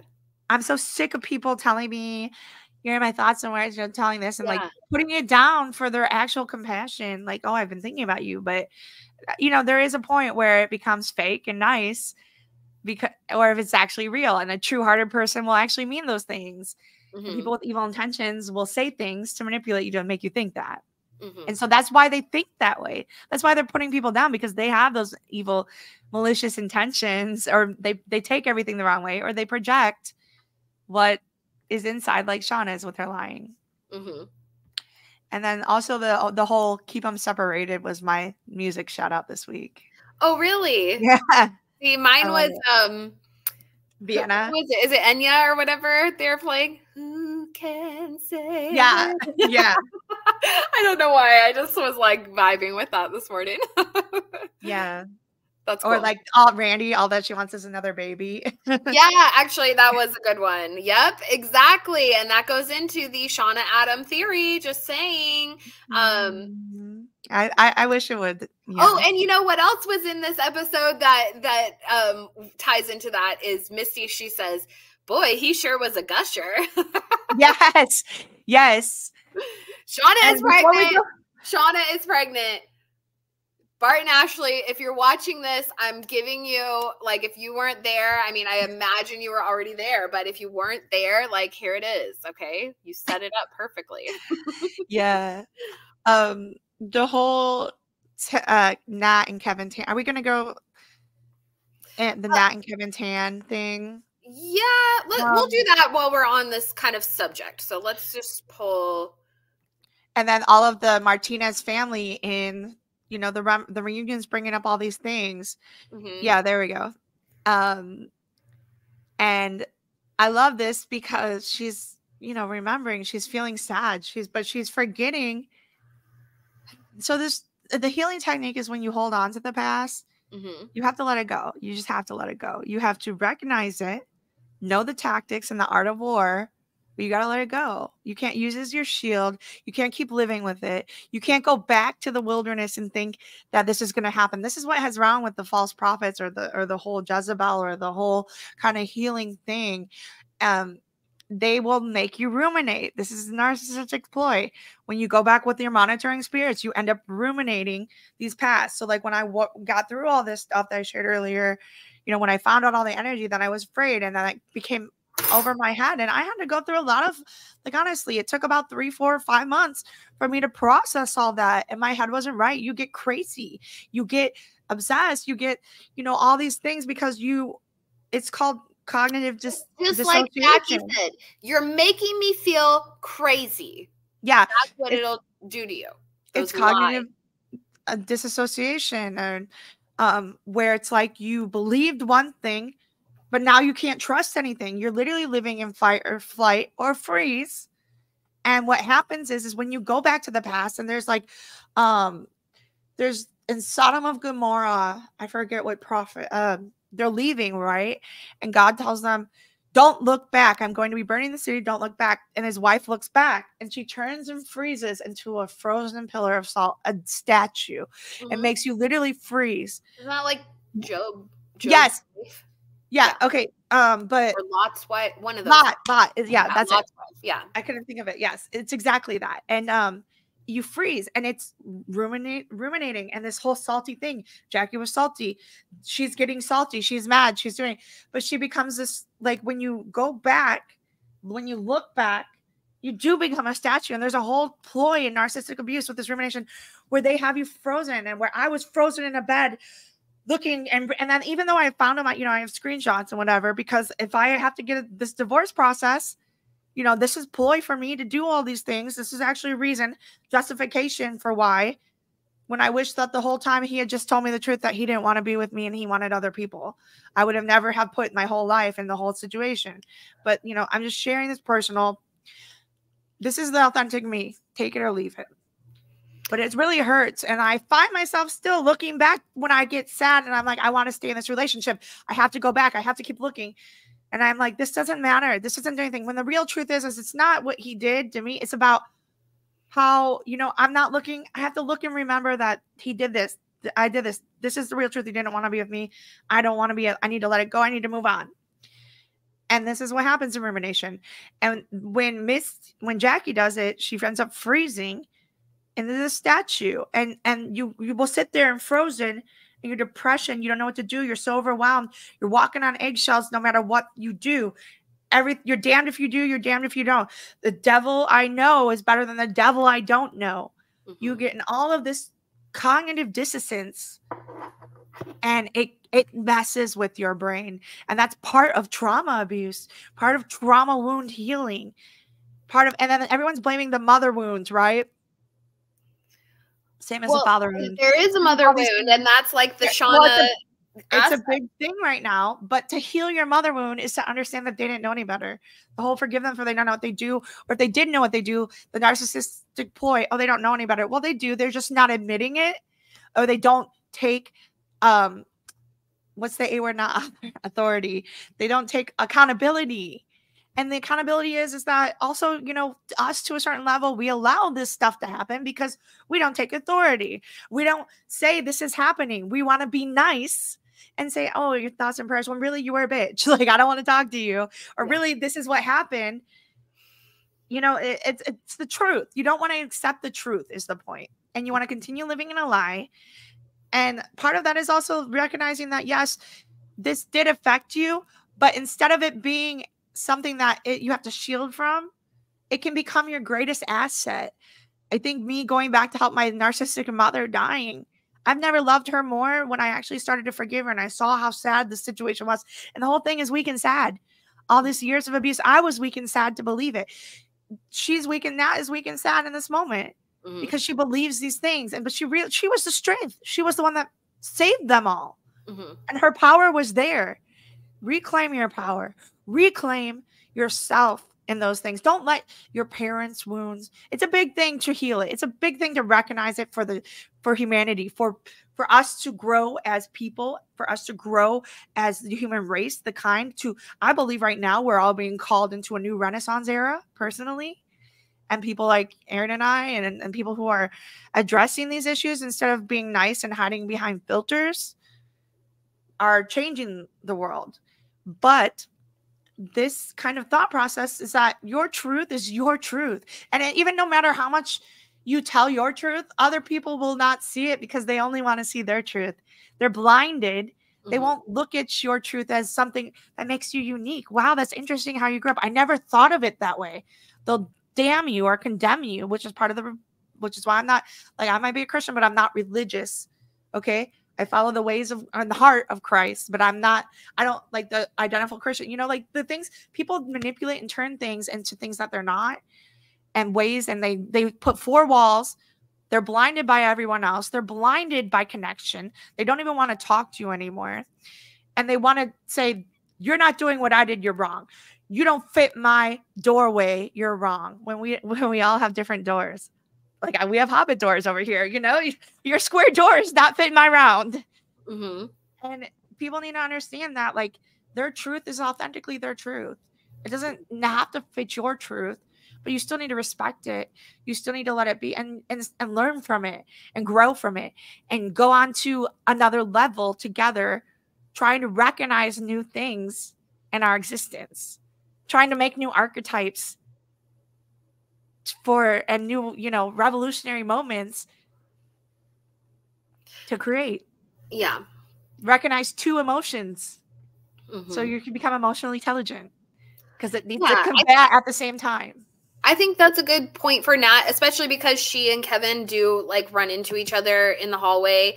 And rather than like, because they're part, they're departing, their departure, whatever, from um a couple episodes ago he you know was in anger. And um he was like because she shot his gun and she had been lying to him and you know despite and she said oh well i don't have you know i don't have feelings for you even though she does. She cares for him. And we see that in the last episode because she was like sniffing his pillow and stuff like that. And so she is like carrying this trauma of um Travis and just her broken heart over it. And that's one of the things that's like it is really tragic the way, you know, the relationship between Nat and Travis. Like I do have a lot of sympathy for her um and for the situation and for her emotional connection to him because I think there was like a lot of talk also when Juliette Lewis was leaving the show about her being upset that her character was so um like just uh kind of obsessed with Travis um or with a, a, um, a guy. And I think that's a huge part of her characterization though because she is because it's pure and it was a pure moment in their life and we see that like in several instances um, throughout season one you know when they're out hunting and they're out doing these things in nature together it is really beautiful and touching that they're having this connection with one another um, and so it's like that first love kind of thing and so i disagree when when i hear those rumors or it might have even been Juliette Lewis herself saying that you know she didn't like how Nat was so kind of connected to Travis and so um distraught after his death. But I think that it's it speaks to the importance of their relationship to one another and the balance the male female balance um the hunter yeah. huntress you know orion and artemis and all of it. Like it really speaks to that. Um so they, they gave us that though between the seasons and i think that they rewrote it or they they kind of like she gave clue but this is also what i'm what i'm saying what we're saying here she doesn't have to agree that's fine but they still valued and and told everyone her opinion mm-hmm. and then now they find an equal balance and it was yeah. great. And I Nat's character is iconic to me. I really hope they bring her back. And and then we see that again here with those two. There's emotional play where they're they're okay on each other's emotions. They're actually having an agreeable, yeah. non-toxic relationship. The moment it got toxic is when Nat was lying and Nat took yeah. him for a predator to use him and abuse him instead of you know loving and respecting and, and that's not who she is you know she's not a per she's not she doesn't treat people like that that's not her where her like heart truly lies and so what she did to kevin was truly only to find out more about travis but yeah. um but it was do you realize though she was doing it in a nice way she was doing it in like she was she told him the truth from the get-go mm-hmm. she said yeah, what was always, up he always but that, knew yeah that, that scene happened though Oh, go ahead. I'm sorry. Go ahead. Well, I was just going to say, I think that's why he holds no animosity towards her, is because yes. he he understands, like straight up, like the connection between Natalie and Travis. It, he can't he can't trump that. Like he can't. Yeah.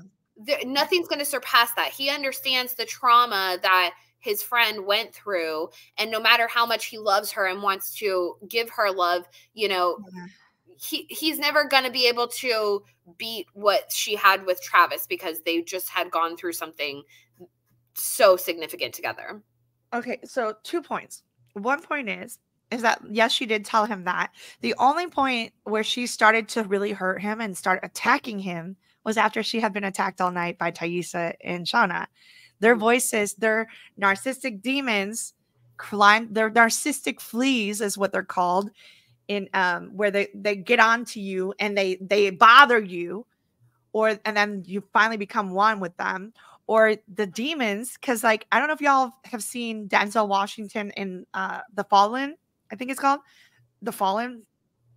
It's a movie where he he goes and sees this guy who has a demon possessing him shakes his hand the demon can't get him but the demon jumps on the guard's hand and then you can see demons possessing jumping in and spirits possessing you, not only through your crowns, not only through their, their energy being near you, but by people touching you and things, especially sex. When you have sex or in like intercourse with people in the spirit realm, you're you're soul tying yourself together. You can even in the even in the body realm, when you have physical, you know, togetherness with a human, you're swapping like your molecules. You can't they say that you really can't get that person out of you, even like their germs or their molecules, that some of their DNA and all this stuff, it will be in you for like six to eight months before your body can clear that out. And the mm-hmm. spirit realm, it's like six to eight to 20 years, sometimes even more. The generational curses, the DNA defining us. Think about your parents. Like if they have murderers, is it a murderous? Is it is it hereditary? If and if y'all have seen the movie Hereditary, come on, let's talk about some demonic influences jumping through through your blood. Sorry, but I'm getting excited. Mm-hmm. But like, okay, so back to this point with them we saw that Nat was got like that after being around these people who are narcissistic, who are hard hardened, who are not like her, putting her down, telling her it's not, her not getting the answer she wanted to find Travis, right? Mm-hmm. She lied about the situation, but she saw she lied about her weakness. But also here she's going back to telling the truth. And then the other thing, I forgot what the other thing I wanted to say was actually because I went off on the realm with that with the narcissistic fleas. Well, let's move on and um let's move on to because yeah, okay. we still have a lot to cover. So um let's bring up so I want to talk about Lottie for a little bit. Um, we kind of talked about it a little bit at the beginning, but um, here's a shot of her at, when they all wake up, and I thought it was really significant. She's laying under that the stump, but she's also in like a fetal position. So she's like being reborn as, you know, the wilderness mm-hmm. spirit or the wilderness um yeah. I don't know, prophet, prophetess. It's it's also you know that when people sleep in the fetal position, it's also a symptom that they've been through trauma they've been abused. Oh really? Yes, when people sleep like this because I, they, are like used it is. It's a symptom of of people of narcissistically abused people when they sleep of, of, of just abused people in general because mm-hmm. they're they have to be afraid they can't sleep if they do get to sleep because a lot of people it's so funny the narcissists will just fall asleep like nothing happened that's why Taissa just falls asleep literally all the time and she can't remember after like fighting I'll be up for days stressed out my whole life's a sham my whole life was a lie I don't know what I'm gonna do what's gonna happen all these fears I can't sleep we'll get a huge fight he'll be sleeping. Uh, I'm tired, and then falls asleep instantly, instantly. Mm-hmm. And it's it's actually a trait. So I didn't know about this stuff until I started researching, doing Google. I'm like, Google, why does my husband fall asleep in the after I can't sleep and do all this stuff? And it's actually a trait of of them. They can just sleep through anything. They can just fall asleep when with stress. People who are stressed or who have actual emotional intelligence don't sleep good. They can't yeah. sleep. So, um, they wake up and they go, you know, they're like, uh, Shauna's like, does anyone know where Jackie is? And they all kind of start getting into an argument with each other. Um, because Jackie, you know, she's basically standing there like judgmental and she says, I, I don't want to. Well, it's funny. She says, I don't want to hear a thing that any of you have to say. And then she immediately like starts questioning them. What were you guys doing? Yada yada yada. And um, so yeah, she's just angry and doesn't want to partake with the group. Um, after well, she, Jackie's not like, angry, she's telling the truth. Like she's calling them out. Well, I mean, it's uh, it's. Well, I guess angry, that's, yeah. that's that could go both ways because we talked about this. Like, the other girls have bonded over an experience that they had together. They all had the shroom and they realized that at the beginning of the episode. They realized that they drank the shroom stew and that's what had this effect on them. But Jackie was the only one who didn't. And when they were all collectively going through this experience together and bonding with one another, Jackie was on the outskirts of it and you know she um isolated herself. And when you're in sort of these like group mentality sort of situations when you other yourself, make yourself, you know, stand out like uh, uh, as the other, then that's when you usually get zeroed in on. And much like with the whole philosophy of like the queen bees and everything, that's when they're going to like. Because the queen bee herself is even in that position where she's like an isolated being like she's different than the other bees and they all serve under her until they don't and so, so that's Misty, Misty, is there though on the side. Uh, so it, it's funny because I did what you exactly what you're saying. I did notice that all the girls are out of the cabin. They're out of the hut. They're out of the house. They're in the wilderness mm-hmm. setting behind them. Jackie's on behind the house behind her, which is we've referred to as also the tabernacle several times. This mind, the conscious, Carl the Jung calls the conscious, the hive. It also has like the breakups of the rooms, have the like the hive, not the hive mind, but the conscious realms, um, mystical realms in the room. But Misty is on the side of Jackie. She's still by the house. Mm. And so when they call when they're calling it out and they're what happens is they end up blame shifting each other. Jackie's like, "What were you guys doing?" And they're all well, Jackie, we wouldn't have done it if it wasn't for you. You took something that wasn't didn't belong to you. Like they come at her like a predator. Like she was the predator, but she's like, yeah, but doesn't they were all wrong. But then what happens is Coach Ben. So during this episode and during even when she he tries to break up the fight between Shauna and Jackie, he's tries to be the breakup. He's like, no, guys, this is wrong later on in season two. He's like the Magus, the voice of reason. He becomes kind of that person in, in the season. But they blame shifted to Misty for the mushrooms. And then she quickly blames, shows it. Well, if Ben didn't make me fall in love with him, it's Ben's fault. She doesn't want to be again, again accountable. She her, her heart's closed and locked since Ben wasn't in love with her her torsos are useless, right?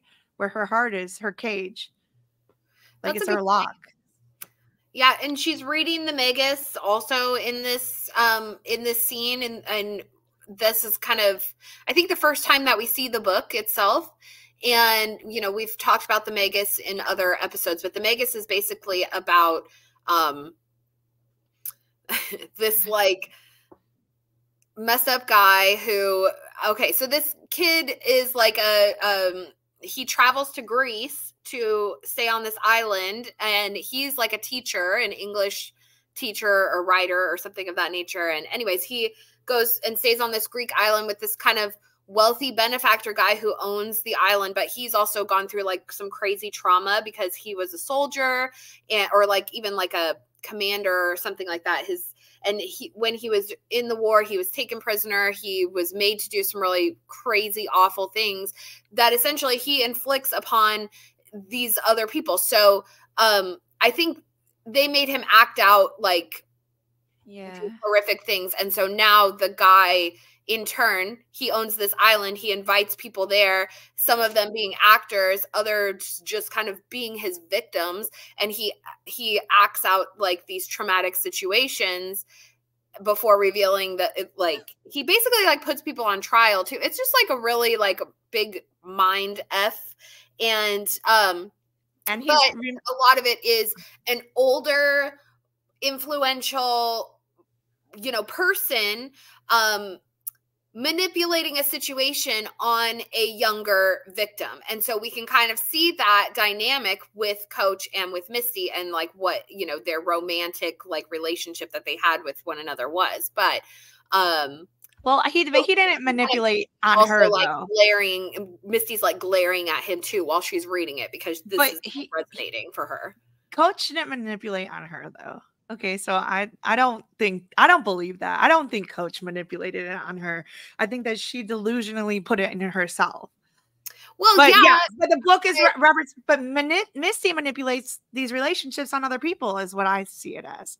Mm-hmm. And remember that also the Magus starts out with a guy in the sex scene, just taking predat, you know, predatory on. The yeah, like, he's like a womanizer and that's the that's what the Jackie does. They reenact basically on him is like why you know his his womanizing tendencies, and then they bring in like this woman that he really cares about, and I think they like she ends up killing herself or something like that. Mm-hmm. So um, so, anyway, so okay, so let's get into this part. So we have Lottie and they're arguing with each other, and suddenly they hear like a rustling in the bushes, and out comes this massive bear. And they're all like, Oh my god, holy crap. And Lottie, she actually we have this moment between, you know, when they are first waking up. Hold on, let me pull up this shot um with uh Shauna and when they all like first wake up which, by the way, I want to actually hold on before we get to the bear. I want to talk about this really quick. Okay. So it's they important. all wake up.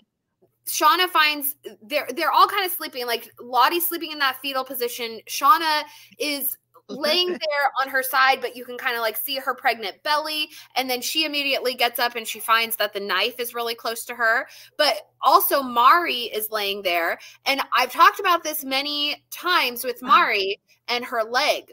Okay. And she has a lot of like leg symbolism where it looks like she might get her leg cut off and she also has like a lot of contention with coach and with like his leg and sort of kind of like preying on him a little bit like we see it in season 2 where she sort of like checks him a little bit. Um and so, anyways, when she's laying there, it's just the three of them laying there, and Mari has her one one of her legs like tucked underneath the other leg. So again, it's going back to that like one-legged symbolism. And I wanted to um bring up the fact because I had been doing a lot of research on Morgan Le Fay, and Morgan Le Fay has um her original mythology is related to um coming from the sea or being like a siren type figure, right? Well, Mari, Mary, Mari, there's uh, oh my gosh, perfect. So there is a uh, creature in Breton legend which is called the Mari Morgan, and that's actually kind of intertwined with like that original Morgan Le Fay mythology. Um, so or it's or Mary Morgan, which is kind of like a little bit of the Christian influence on it. But um, the Mari Morgans are compared to mermaids or in French sirens, although without fish tails. They lured sailors with their hypnotic voices and sat in the water to comb their hair seductively. And so I just am seeing like a lot of this symbolism with Mari. And I, you know, I always say calamari, which again is tied to the sea, but um, mar or more more is like a root word for the sea in um I, I, I think Welsh um or Irish or maybe both. Um so Yeah, the Cliffs of Moher. Yeah. Because they have the Morrigan, and the Morrigan is mm-hmm. she's also mm-hmm. associated with the sea as well. But Morgan, Morgan Le Fay, being like the siren, her aspect of that. Anyway, so tra la la I think Mari's gonna drown. So me too. With the dripping and the marine spirits is also a, a, a demon type energy. I and also calamari and the marine spirits are actually like octopus type creatures that like they cover your head and like you know get in Misty's head, which is part of what I think probably her and Misty and Aquila become one pairing together because marine spirits will they they take that's mind control. They take over your mind. It actually is part of the demonic presence. I can't so. find I had a link, but also um there is a Basque goddess named Mari. She's like their main yeah. goddess. Yeah. And her she's associated with the color red. Um and I think with like water things also. So it did make me think of like the dripping in the cabin yeah. that she constantly hears. So um well, also yes. that's I think that that's part of the narcissistic abuse too there's a there's a thing with this demonic energy and narcissism where water stops flowing and the evil spirits when they leave a person's body they go and look through dry land and if they can't find it you know searching dry places to come back. And the water kind of symbolism of like this there's a water leak. There's a leak in the spirit realm. So mm-hmm. there's yeah there's a lot to that. Okay so okay let's go back. Now we'll talk about this. Okay so they're arguing. Okay, they, wait, hold, this is the best thing right here. The bears, Laura. So Laura Lee sacrificing brought them the food. It's Leonard in the flesh. Maybe I don't know. I, I love that. Maybe. I love it. Um, I think it was more their actual willingness to engage in sort mm-hmm. of Dionysian festivities, in yeah. my opinion. They're drinking, they're fucking, they're uh, eating mushrooms, they're celebrating, they're hooting and hollering, mm-hmm. getting into the animalistic spirit. That's kind of what I think, but I could be wrong. You know, Laura Lee's death is sort of interwoven in that. And then she does have the one eyed bear symbolism. It's um, definitely um not wrong I don't think it's wrong. I think it's very much symbolic, and I think you're right. That's how I felt too about it originally too, and now I'm starting to see other things. But it's, it's interesting it too that one eye, like Laura Lee's, she her Leonard had one eye, Lottie has the the third eye open, and then the bear appears to her. And while this bear has two eyes, it's kind of like if there is the Laura Lee interwovenness, then it could be that third eye. Well, I took um, it as like Laura Lee does have like her eye open, but she only sees that is like God. She only sees that. She doesn't see anything else. She becomes a, uh, there's such thing as a spiritual narcissist too. So that's how I saw that. But it is something that we should probably look back upon now. And Taissa having no eyes open because she has no spirit. Yeah. Being blind. And the eye, you know, she has Sammy down like that doll of Sammy's that she had the the taken the eyes out of. Which um, is on her altar. yeah. So, um, but the bear comes out of the woods and essentially like sacrifices his own her own self. I I don't know if it's a male or female bear. I'm presuming a female, but I could be very wrong. Um, but she carries more energy, so that's all. But there is some mythology also um with um Artemis and the bear because she has a sacred bear that's like dedicated to her and the, it was killed and when it was killed there was a plague. So let's just read you guys the thing. So the cult of Artemis at Brauron, which Bra- Brow I think that's a bear word. I think brown that's a, bear, brown bear. What do you see? B R A U R O N. And I think so I think there's like a bear root yeah. word in that. But um so um okay, so this is this is going to get a little interesting. And of course, going back to Natalie being Artemis, okay? She's the goddess of the wilderness and she's associated with wild things, with wild animals. So she's strongly associated with deer, with um hounds and uh, of course with the bear. So um one of the many myths surrounding the cult of Artemis at Brauron originates with the story of Iphigenia. In the story of the Trojan War, as described by Aeschylus, the Greeks had earned the disfavor of Artemis by shooting one of her sacred stags, and thus were unable to put put were unable to put to sea against the Trojans due to disfavorable winds conjured by the goddess. In lines one uh, in lines 1446 through 1468 of Euripides' Iphigenia at Tauris, we find a reference to the original myth. And you, Iphigenia, behind beside the holy stairs at Brauron, you must hold the keys for the goddess herself, where you will die and be buried. And as a delight for you, they will dedicate the finely woven material of woven cloth, which by chance women having lost their lives in childbirth abandon in their homes. This is also associating Artemis with being a, a goddess of childbirth. Burning the baby I, blanket. I command you to s- send forth these Greek women from the ground due to their correct intentions.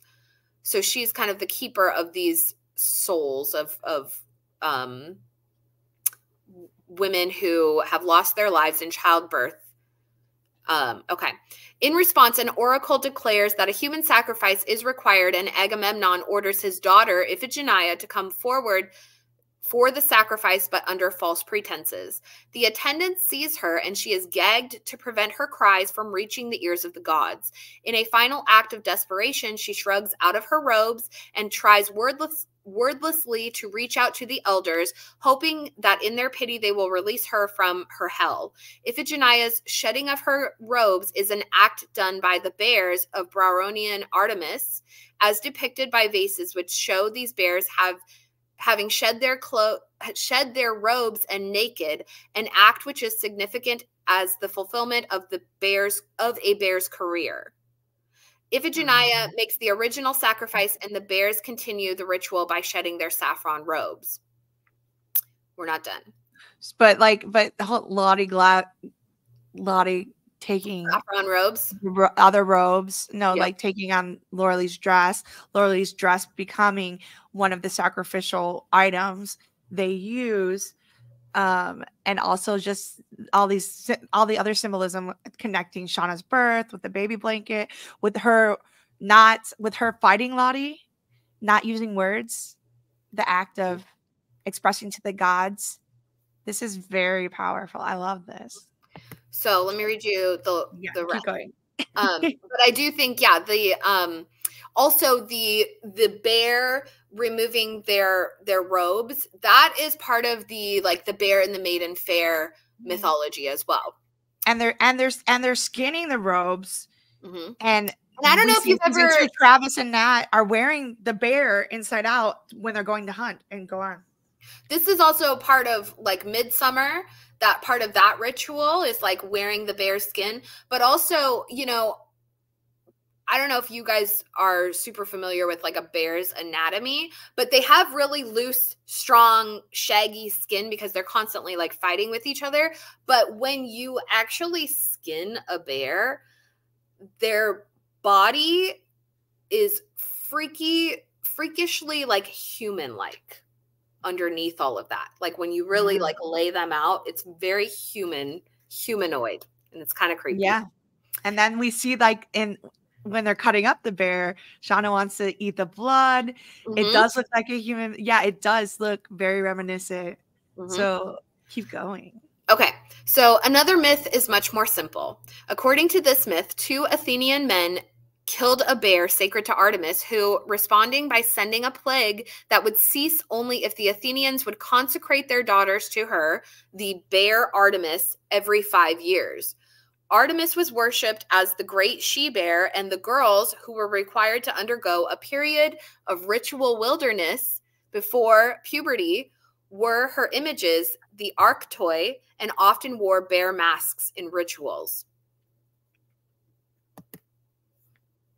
I know. What did we just find? I know. It's crazy, right? No, this is not crazy. It's pretty on point. I have not. Uh, Wild Marjoram asked if I've I've ever skinned a bear. No, I yep. actually have not. Um, but my husband is a hunter, and so I get to learn all of these really interesting things. Well, I've already skinned this conversation and made brown bear, brown bear. What do you see? Into a, a Yellowjackets book, mm-hmm. pretty much. And then uh, I saw a bear. Mm-hmm. Oh, way out there. Yep. So I just think that's really neat. very interesting. Oh, very but, interesting.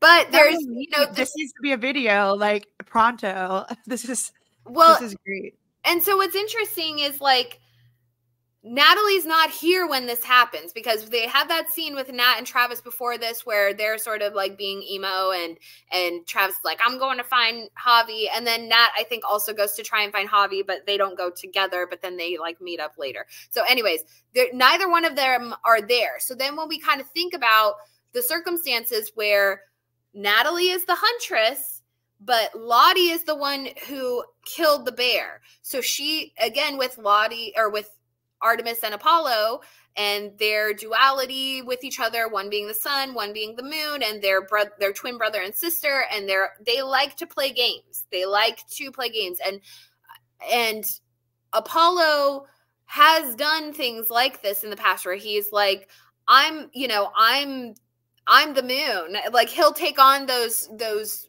um, qualities and try and like sort of play games with his sister and be like, I can do this. I can do what you do. Anything you can do, I can do better. Is their sort of dynamic, their playful dynamic with one another. And so we see this here with Lottie that being the one who actually kills the bear, you know, makes the kill, makes the hunt. Um, which granted, she didn't actually like go out and hunt. And Jackie has a point when later she says they probably he probably just like smelled us and you know came and found us or whatever. But regardless, Lottie makes the kill, and so they have food, and um, that could be interpreted as something that could be an offense to Artemis, with this being her sacred bear. This act of killing the bear could be an offense to her because it wasn't her. It wasn't she as the huntress, her having that authoritative position to say, this is the animal that we're killing to eat kind of thing. Yes. So it might offend her on a on a symbolic level and and that sort of um creates these circumstances and then when we have you know the sacrifice of Iphigenia or the um the consecrating of these girls and their their ritual wilderness or wildness period of wildness that they must go through that it's all there, you know, and it, it really points to Natalie as the authority of the wilderness for the group, you the know, queen. versus Jackie. And so we see this kind of phasing out of her, especially when Jackie is uh, she's resistant in acknowledging the bear and what it represents and its gift to them, especially when it comes time to eat and that sort of thing. She's the one that doesn't say thank you. Um, well, but okay, so participate. Go ahead. It's not just thank you. Um, so let's talk about that scene next. But um, hello, Danielle Elizabeth, welcome. We probably are going to go another hour at least. So um, yeah, we're really rambling. So this scene, yes, it just sacrifices, and I'm I'm going to go into the narcissist point about it we willingly sacrifice ourselves to the narcissist. Narcissistic abuse people don't even know we're doing it. We just are in our will we're in our wilderness. We're in our environment. We're in what we think it is walking freely. And we tend to will, willingly sacrifice. And they will just they'll they'll kill you on command. They'll they'll sacrifice you quick. And it's also kind of here we see that the bear just lays down and dies like jackie she like she lays down and she gets frozen in her rumination frozen willing wanting to think is you know shauna gonna come out? I'm just gonna be here and i'm gonna do it. And um what is this the wilderness? Favoring nat. So the thing with this nat thing too like i definitely think that this whole sacrifice or the wilderness getting mad about the sacrifice has something to say because I think that the wilderness is getting vengeance coming back on Jackie, coming to get her during her sleep.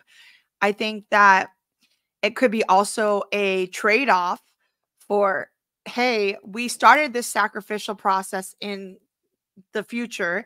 Like in this episode, we see the sacrificing of the dog, of Adam, of Jessica Roberts from Misty, all these girls, you know, starting out the whole trend, starting up the whole kickback of chaos that's about to be unleashed again in the present day. This starts the chaos unleashing in the wilderness. And we see that now in season two, chaos becomes unleashed. But the thing about the bear specifically is when Laura Lee flies off and she does get sacrificed, you know, yes, she is a virgin, but she's not sacrificed at the hands of another. She's sacrificed at her own hands in a sense. Is that considered a suicide type thing? You know, it, it, it kind of would be like she knew that she had the possibility to die. She didn't care. Was it victorious? Definitely not. But did she go in with the heart of victory? Yes. So there was a good heart there. But this, when Jackie took the sacrifice of Travis, there was no heart and Travis didn't die, you know, they that's how the wilderness takes you. That's what narcissists do. They attack your heart. They will sacrifice your heart. They will come at you. Jackie was the predator. She was wrong too, like we said. She was a predator of Travis and took his heart. But Nat is restoring Travis's heart in this episode. That's where they are right now.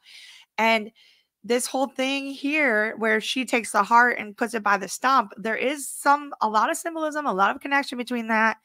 And i think will the the wilderness takes jackie because the same way it takes javi they're trying to cheat the predator and the prey. They're trying to cheat what should have naturally been taken travis became the prey. And so that's why they tried to kill him. He became the deer. He became the person that the wild the wild narcissist who has no control over their emotions, no control over the human, they're animals. They impulsively urge. They're not putting on their human aspects of ritual. There's no rituals, there's no religious spirit, there's no any spirit. They're animals wanting to eat. And this takes about all of our realms of humanity applied.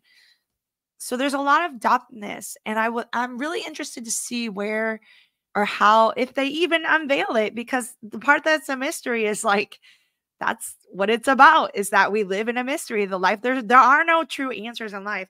There are no one way or two ways to heal. Your trauma bond will only be healed by you however it affected you in your certain way. Our trauma bond yes we were there together but how it affected me you know i might turn into man and might be isolated and holding on to old memories. I might turn into Shauna and marrying the best thing I see about my lost dead best friend. I might turn into Aisa and not even remember, or like not even, you know, like there's different ways. But the point is, is that we have to heal it in ourselves with our own hearts.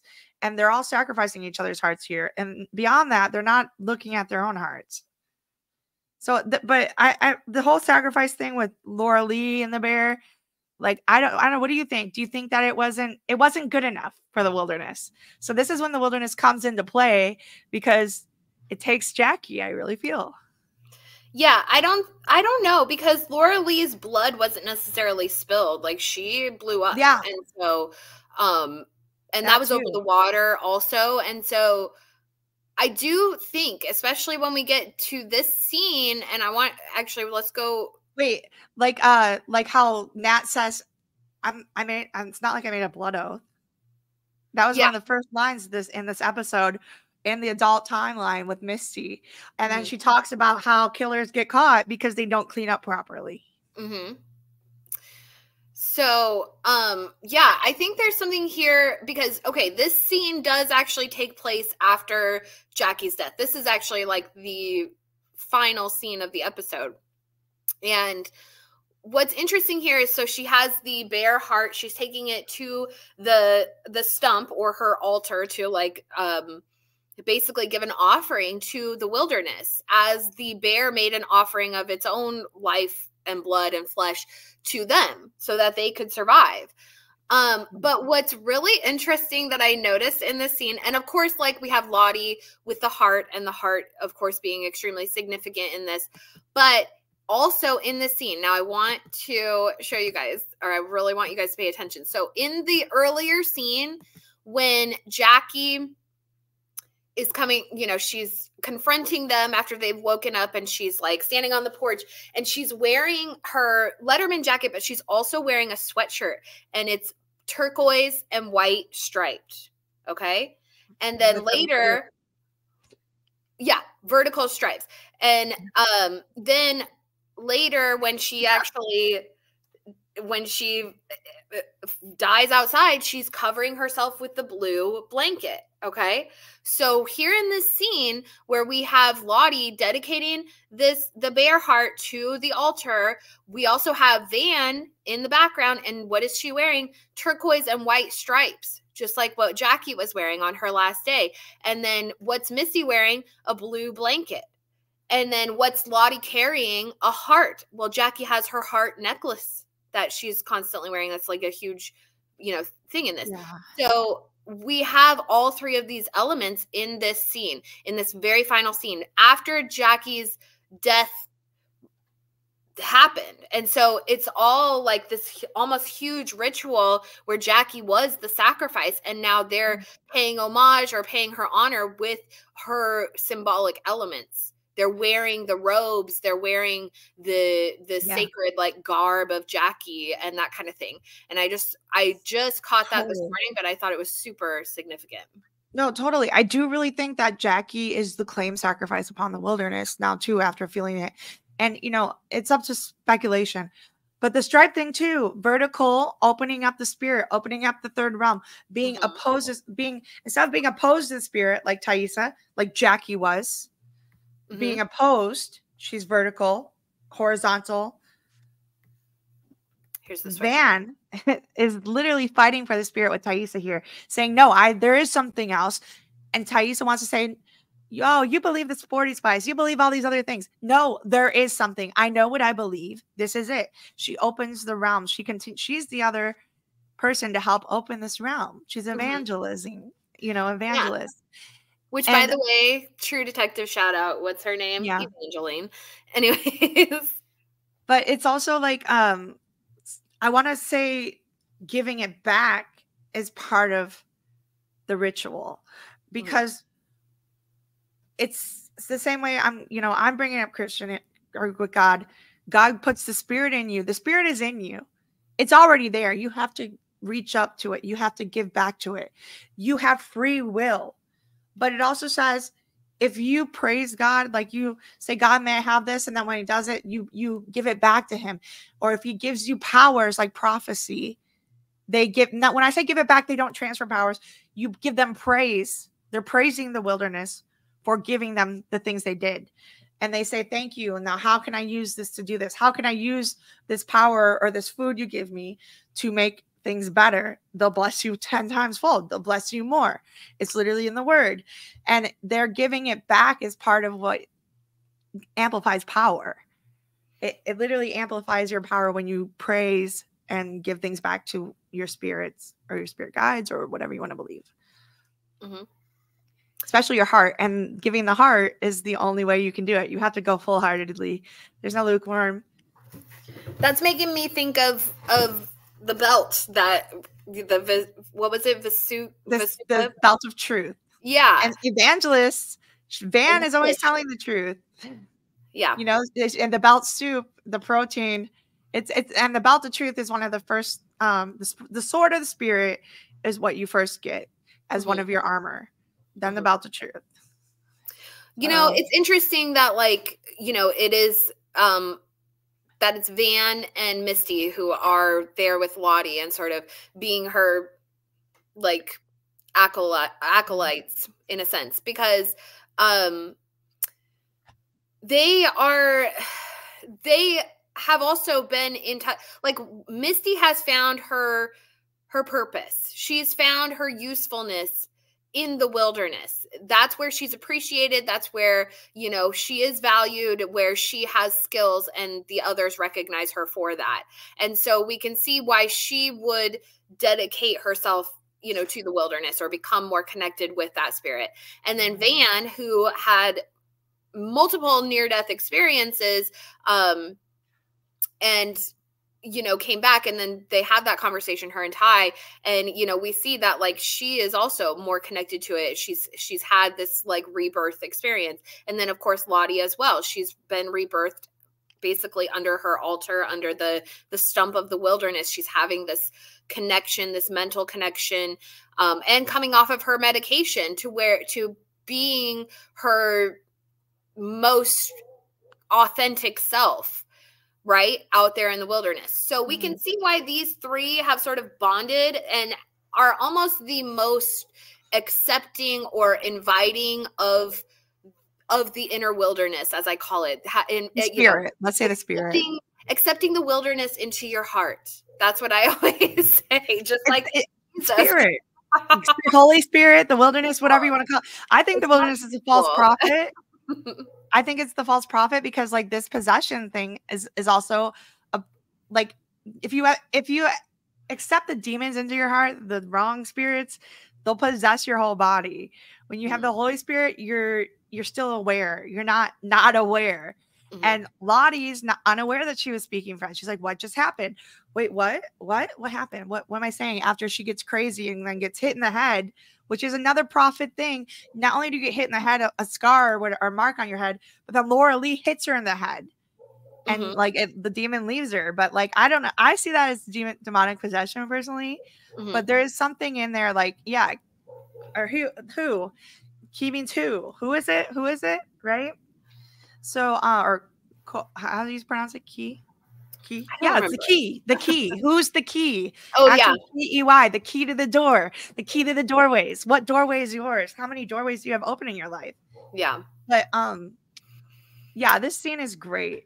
It's interesting to consider, like, with Lottie being that sort of Apollo figure and sort of like the prophet and the kind of light, um, that or the sun as well, we you know see it with the, the her heliotrope followers that she is also the one who accepts the wilderness that you know she's really like the leader of their sort of um of of the wilderness you know whatever being the wilderness prophet in a sense. But uh, so her light aspect as apollo versus this like dionysian underworld um death and rebirth reincarnation sort of energy it's just funny that it she encompasses all of those things. And then we like contemplate that yeah apollonian versus dionysian um dichotomy. And so i don't know she like encompasses the whole inner battle. And that's sort of like her her mental battle versus her spiritual battle in a sense. Like she's embodying all of those things so 100% i like that is what nat is going through and then in season two nat is growing through nat's going through that now she's growing through it in season two lottie she takes over this this uh, laura lee presence right but the opposite instead of god narcissistic religious spirit, she makes the wilderness the only hope. Whereas Nat takes it all. And this is what I was talking about earlier. You can't just, and Carl Jung and all the things I'm saying, it's not good or bad, moon or night, sun or not, sun or moon. It's a revolving circle that you have to work with and you have to use human nature, human development, words, processing, understanding, growth, you know, all of the things we have. You can't just define it by one thing. You can't just be, this is the wilderness. I'm the light. This is the way. There's only one person who is the light in the way, in, in my mind. But like, you know, there's there's a lot of dynamics between these things, mm-hmm. and you have to recognize that it's the spirits of the moon and the sun. It's the spiritual realm not just moon and sun, not just this way or that way. You have mm-hmm. to know your art of war. You have to know what the enemy does, but also like understand it and also realize that the enemy is doing the same thing to you. Because a part of the art war was written like the enemy doesn't know all these tactics, but when they do, you know, that's a real war. And mm-hmm. it's understanding that there's a spiritual realm beyond that. Do we have to have war though? can't why can't it just be peace? Realizing you're in the war is part of the part of the growth. Absolutely. But um I do okay, so we let's just get into talk about well, I just want to talk about the girls eating though. Yeah, let's do this. It's so funny because Misty over here, again, monitoring spirit Misty, calling out Jackie, blame shifting all of the attention because all during the meal prep, everybody's Misty, you're a crazy FMB. Misty, no, we don't trust you. Get away from us. Misty, you're the reason that all this stuff happened. It wasn't Jackie anymore. It was Misty's fault, right? No one wants to take fault of their actions. They want to blame it on these things. And this is what I don't like because a lot of people are like, oh, I was drunk. I didn't know I was doing. Nah, you just had the spirit to do things that you knew and wanted to do. You just are not taking acceptability. It just is it something that opens the realms of the spirits when you're drunk because yeah spirit. question for the chat like is it was who's at fault for the mushrooms like do we think misty like personally i don't I don't necessarily hold Misty accountable for the mushroom situation. She's a scapegoat. She had the mushrooms, but it was Mari who put them in the stew, and she didn't ask uh, Misty first. Granted, Misty probably should have had fessed up to it, but also, like you know, yeah. They were hungry and the stew was already made. So why not? They're having a party. Like, well, I don't know. Do you think that Misty, like, uh, where's, what's the spectrum? Like, are, is Misty at fault? Is Mari at fault? Is it somewhere in the middle? It, does it really matter? Just tell me your thoughts in the chat. My thought is, is no one's at fault. It's a spectrum. Understand that. Yeah. like, that's exactly. mine. I don't think that's what we need to we need to realize that's what we need to do to heal traumatic boons or wounds, not boons. Daniel Boone's tra- trauma Boone. She's the new Daniel Boone. Oh my gosh, it should be a character. Anyway, um, so they, you know, Misty comes here and Misty's feeling all that blame. She's trying to find anything and anything to point out, and she points out Jackie, and then Jackie again comes at it like the truth. She's like, "Oh no, mm-hmm. here we go. I'm gonna point it out," and and she points out the obvious. And not only did she point it out, just how Jackie gave Shauna the chance to open up inside the closet. Mm-hmm. She, you realize Shauna was blocking the doorway. Jackie was yeah. inside. Shauna did not open her doors. She mm-hmm. always blocks Jackie's doorway. She's always demonically possessed. Their doorways are wide open. Can't shut it. They won't let you close your door. Whatever. But she's not letting the truth out. She gave her plenty of options, plenty of times to say, hey, you know, what's going on? Tell me the truth. Tell me this. But not when she asked her, what were you doing? What were you going to do to Travis? Mm-hmm.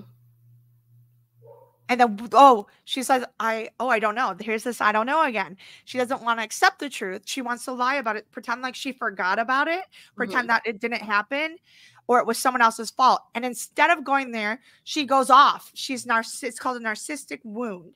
When mm-hmm. you hit that wound, when you hit that valve, is when they attack. They will flip. The psychopath comes out. And I'm telling you, when you see these things and when you experience it, they won't say anything. Oh, I don't know. I don't know. And then you're like, what the hell? You're driving me crazy. What are you saying? No, you were there. Jackie lost her time. She's like, no, I want you to admit it. Say something. Mm-hmm. Tell me what you were going to do. Say it out loud. Calling her to back to have accountability. Jackie gets up. I mean, not Jackie. Shauna gets up and starts attacking and attacking verbally, which I'm sorry, verbal words to me are worse than if you were to stab me because verbal words, those wounds heal. Verbal words stay in your mind, like the voices and all of these other ha- that we've been talking about this whole thing. The voices in Nat's head where it makes you want to kill yourself. These verbal words, when you hurt people's spirits, people kill themselves over things said like this. And I'm getting very emotional because I'm going to try to calm it down because this is a real thing spiritual warfare. They attack your spirit and your heart, your spirit of worth, your spirit of loneliness, your spirit of, am I wrong? Your fear. All these things were brought out in Jackie by all of Shauna's words. Mm-hmm. Words that she knew would kill Jackie. Mm-hmm. Shauna murdered Jackie in this scene, as far as I'm concerned. That's my truth.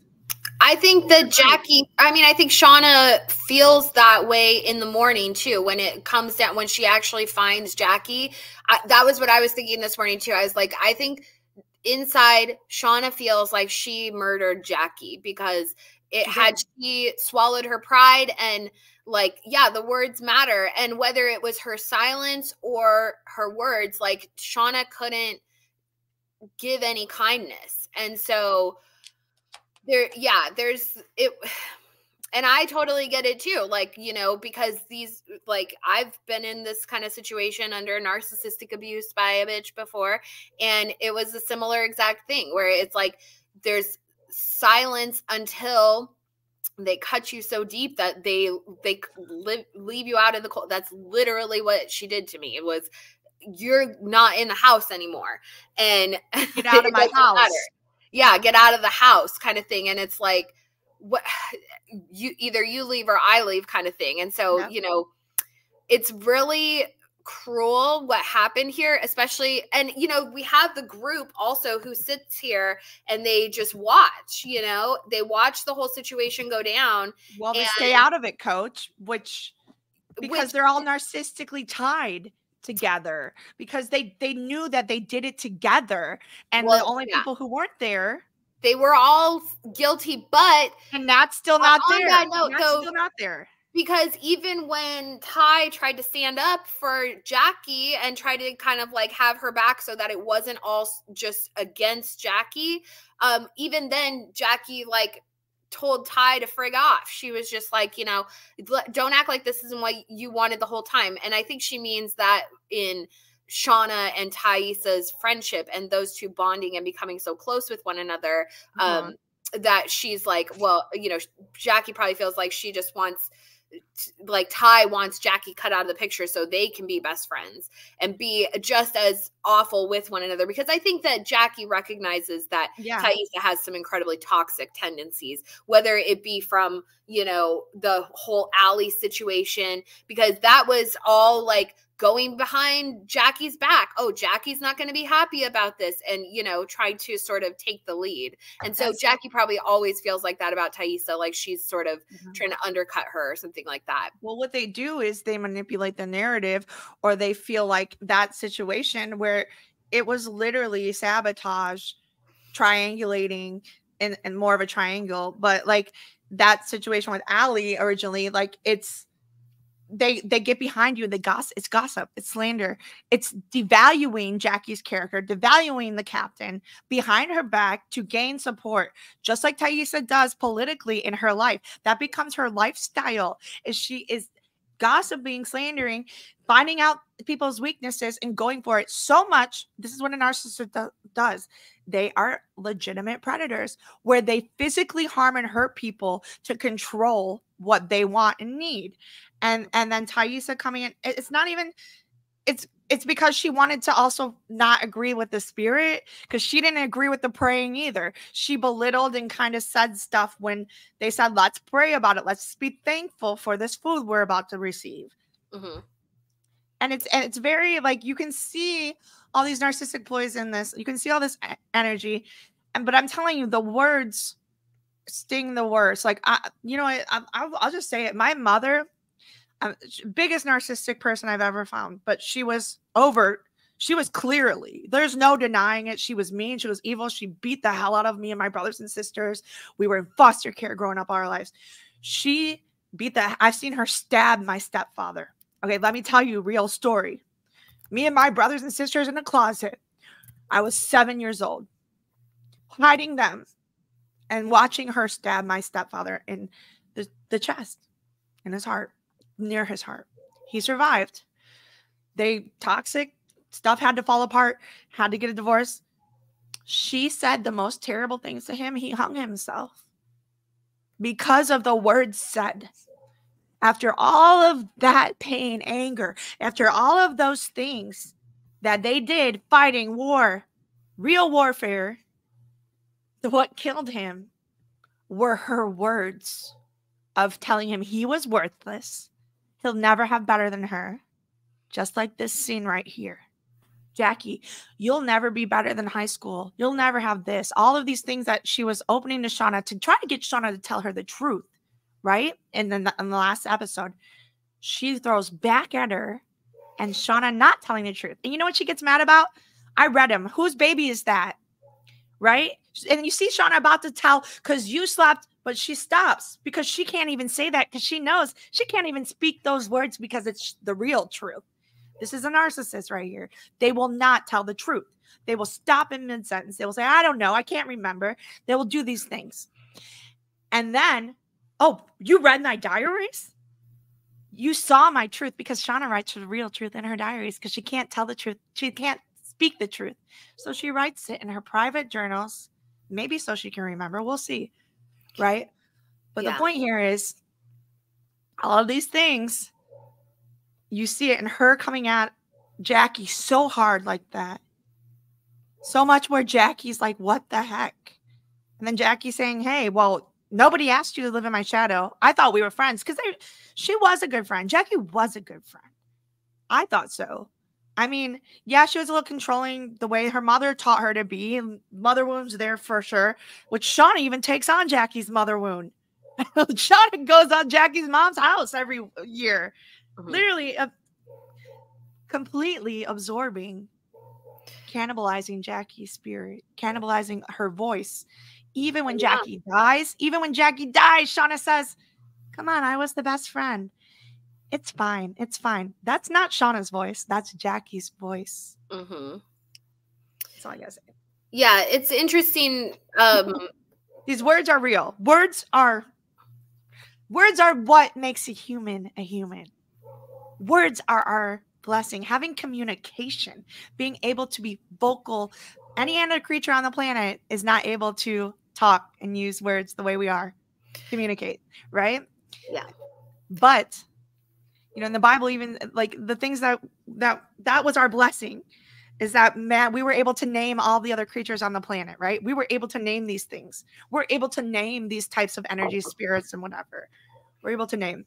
But again you know god does also in the tower of babylon he makes it so that you can so that we're mixed up. So there, there's catch 22 on that one but it's just words are really man's power. And this is what kills you so Wild Marjoram asked, why didn't Nat and Travis see Jackie outside? And that's a really good question. Um, there's actually, and I, again, going back to, I've told you guys this, that my son flushed my SD card down the drain a few weeks ago. So I lost a lot of stuff. Sabotage. yeah, I know. But um there is I and I had a copy of it, but unfortunately I don't anymore. But there is a cutscene Oh, where oh yeah this is cool that where Nat and Travis come back to the cabin while Jackie's outside and she's like trying to light the fire and all this. And Nat gives her like I don't know if she actually says anything. I can't recall if she actually says anything to her, but she gives her like this just evil glare, evil like look or whatever. And so they do. They encounter each other when in that moment. But I'm I'm sad that they cut that because I think it would have been a good thing, especially seeing like Nat and Travis coming back together while um while Jackie would be the one that's out there on her own. So also like the whole Nat all these scenes we get with Nat being like this voice of truth for all these characters and in season two, as well as here with Shauna, like that would have been a great scene. I also wait, I also like this Jackie couldn't go back inside because she wasn't the queen and she wasn't the alpha. She would have she would have been, you know, more the beta and become more servant. I think yeah.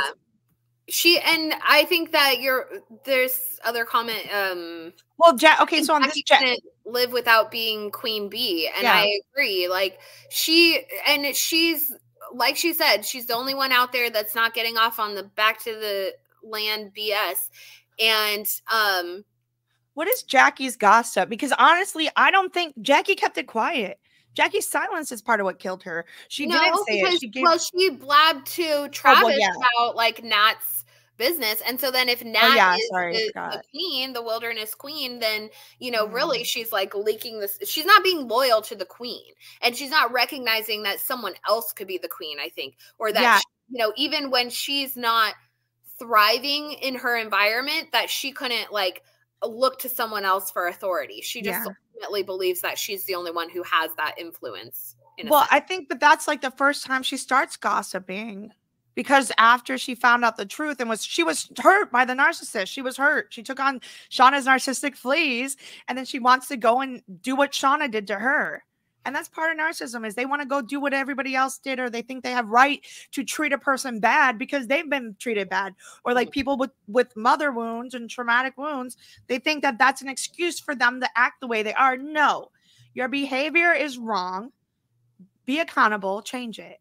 If your mm-hmm. behavior is hurtful to another human being whether it be by words whether it be by by physical harm whatever it is realize it and do not be hurtful be fruitful you know like work on except for unless you're sleeping with another person's man i don't know about that but but yeah Hello? that was but the thing is though jackie doesn't gossip about shauna's secrets you not know so there's Shauna. something to be said about that well, she does actually because she's the one who exposes her because she gets driven to the point because Shauna now, won't admit her own stuff. So she does. Yeah, but that's not gossip because gossip is behind your back. True. That's straightforward. No, tell the truth. Now you have no other mm-hmm. choice. Now I'm holding you accountable in front of everyone because you're trying to come at me in front of everyone. Yeah. So, yeah. And so, and honestly, I Jackie I thought handled it pretty well because I would have gone up to Shauna, what the hell, like in front of everyone and exposed her probably the mm-hmm. same way Jackie did to her. But like Jackie should have done that from the get go and said her silence is what killed her. Her silence, expecting Shauna to be a truthful, telling friend, because that's how Jackie is. She's like, I'll tell my friend everything. We tell each other everything. But then, you know, what kills me is that in the future, Shauna and Taissa do tell each other everything.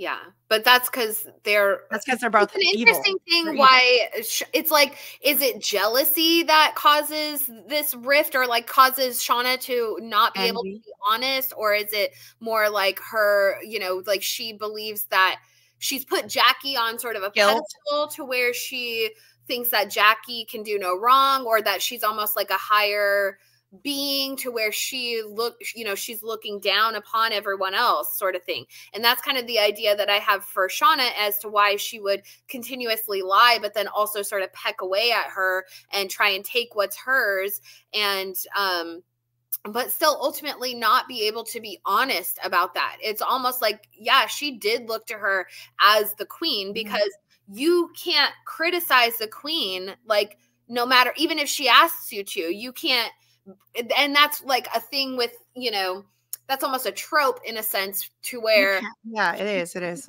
don't feel like they they just have like um yes men around them who are constantly telling them what they want to hear or oh you are this wonderful great person mm-hmm. whereas uh, they might be at the point where they want to hear that that criticism they want to hear prayers. What, you, what, what does everyone else actually think about me and that's you know your regular person is not going to be able to be that honest and upfront with a royal figure. And so I kind of feel like that's what Shauna has done with Jackie, where she ultimately does really view her in that queenly position.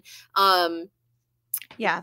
Yeah. But, but like, so I love that you said that. That's so true. It's also like part of uh House of Dragon, you know, where with Otto Hightower, like mm-hmm it out where they're but like that's the thing is people don't think that when you're given authority or realms to be queen you don't have to suck they like they're not better they just are able to listen more and that's when you stop listening to the people around you people want to honor her put on a pedestal Taissa is on a pedestal in the future you know and that's and she's given her all this stuff probably for a more because like shauna don't have anyone else to go to but mm-hmm. this whole pedestal thing, you know, that's lies. It's lies thinking that you can't tell a person or a political person what we need to change. This is what we're supposed to do. And it's that whole thoughts and prayers a little right. bit of a insinuation right now.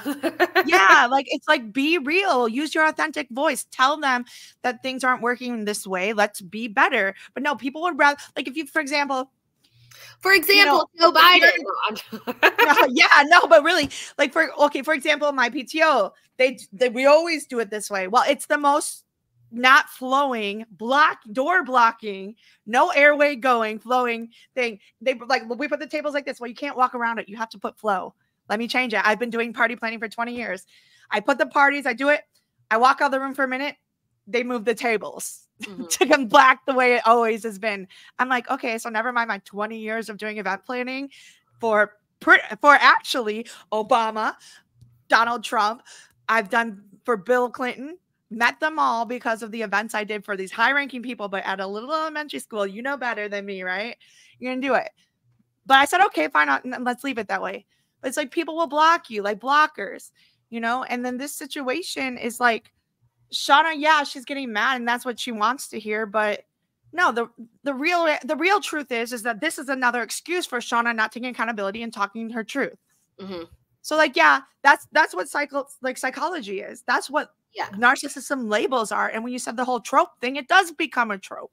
It well, becomes a whole label Mm-hmm. But you're not one label. People are not one label. We have dynamics beyond.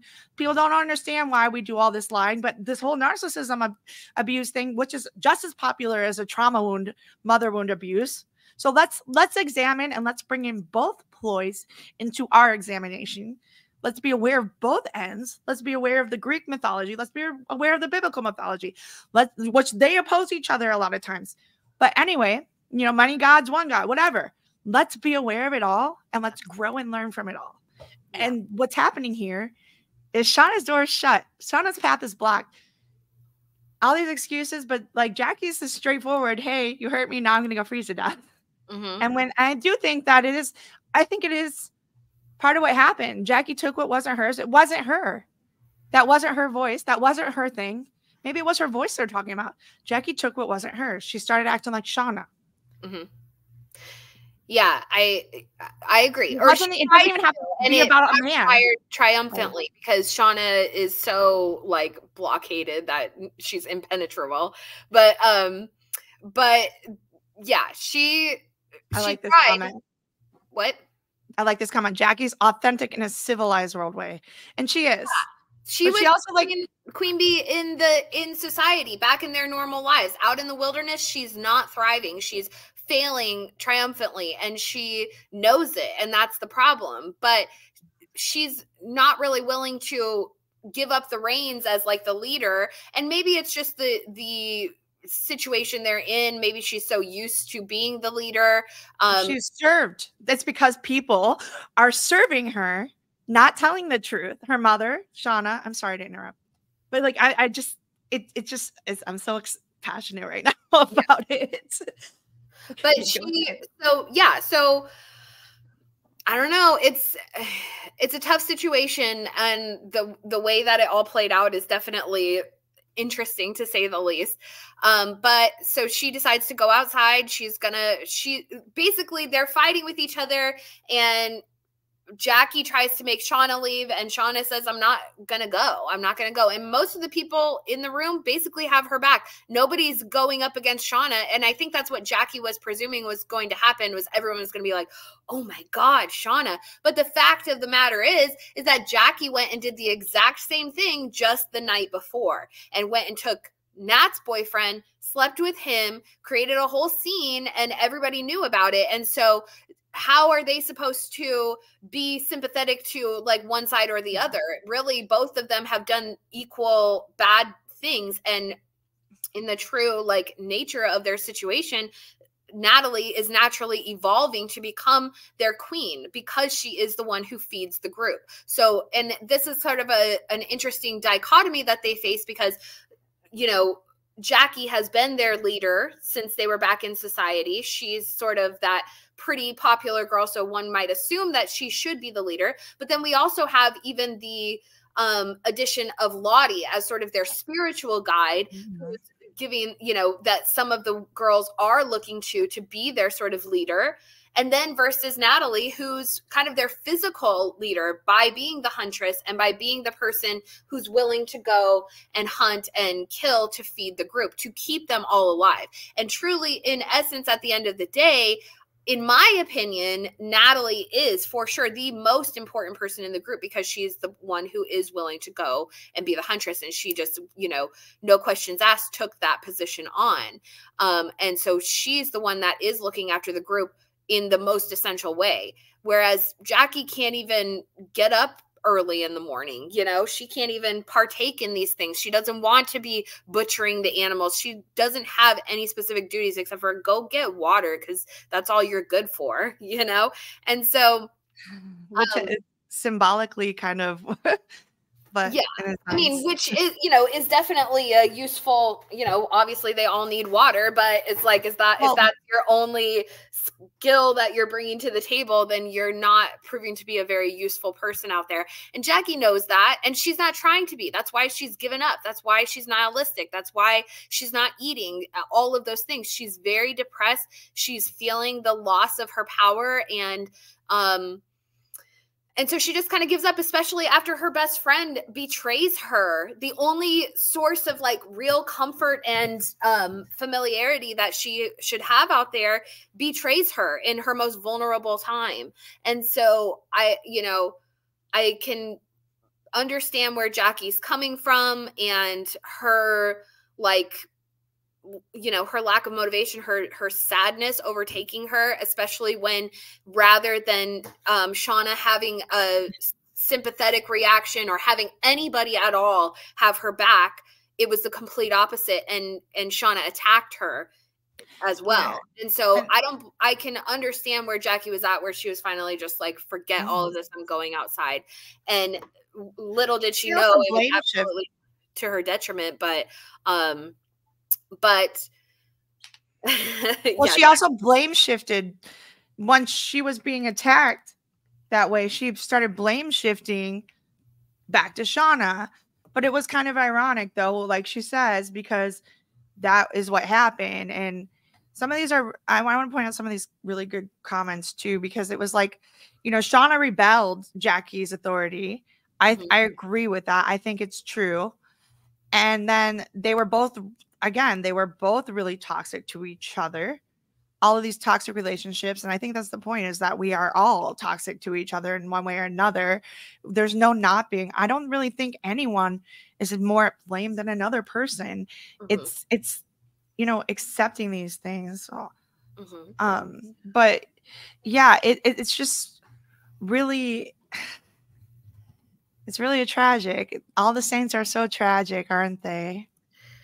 So then they, so then basically Jackie sort of drifts off and we see her having this um where Shauna comes out and you know there's this moment where Shauna's looking out the window at Jackie and Tai is like you should just go out and talk to her. And Shauna says no and then she just gets into bed. And then we see Jackie and she's out at the fire and she sees Shauna coming out to her, apologizing, you know, come inside. It's cold out here. Um, just come back inside. And they bring her in and they give her um, a, uh, a cup of hot chocolate. She's like, Where did this come from? And Sean is like, Does it even matter? And they're having this sort of beautiful moment where they're all like, We love you, Jackie.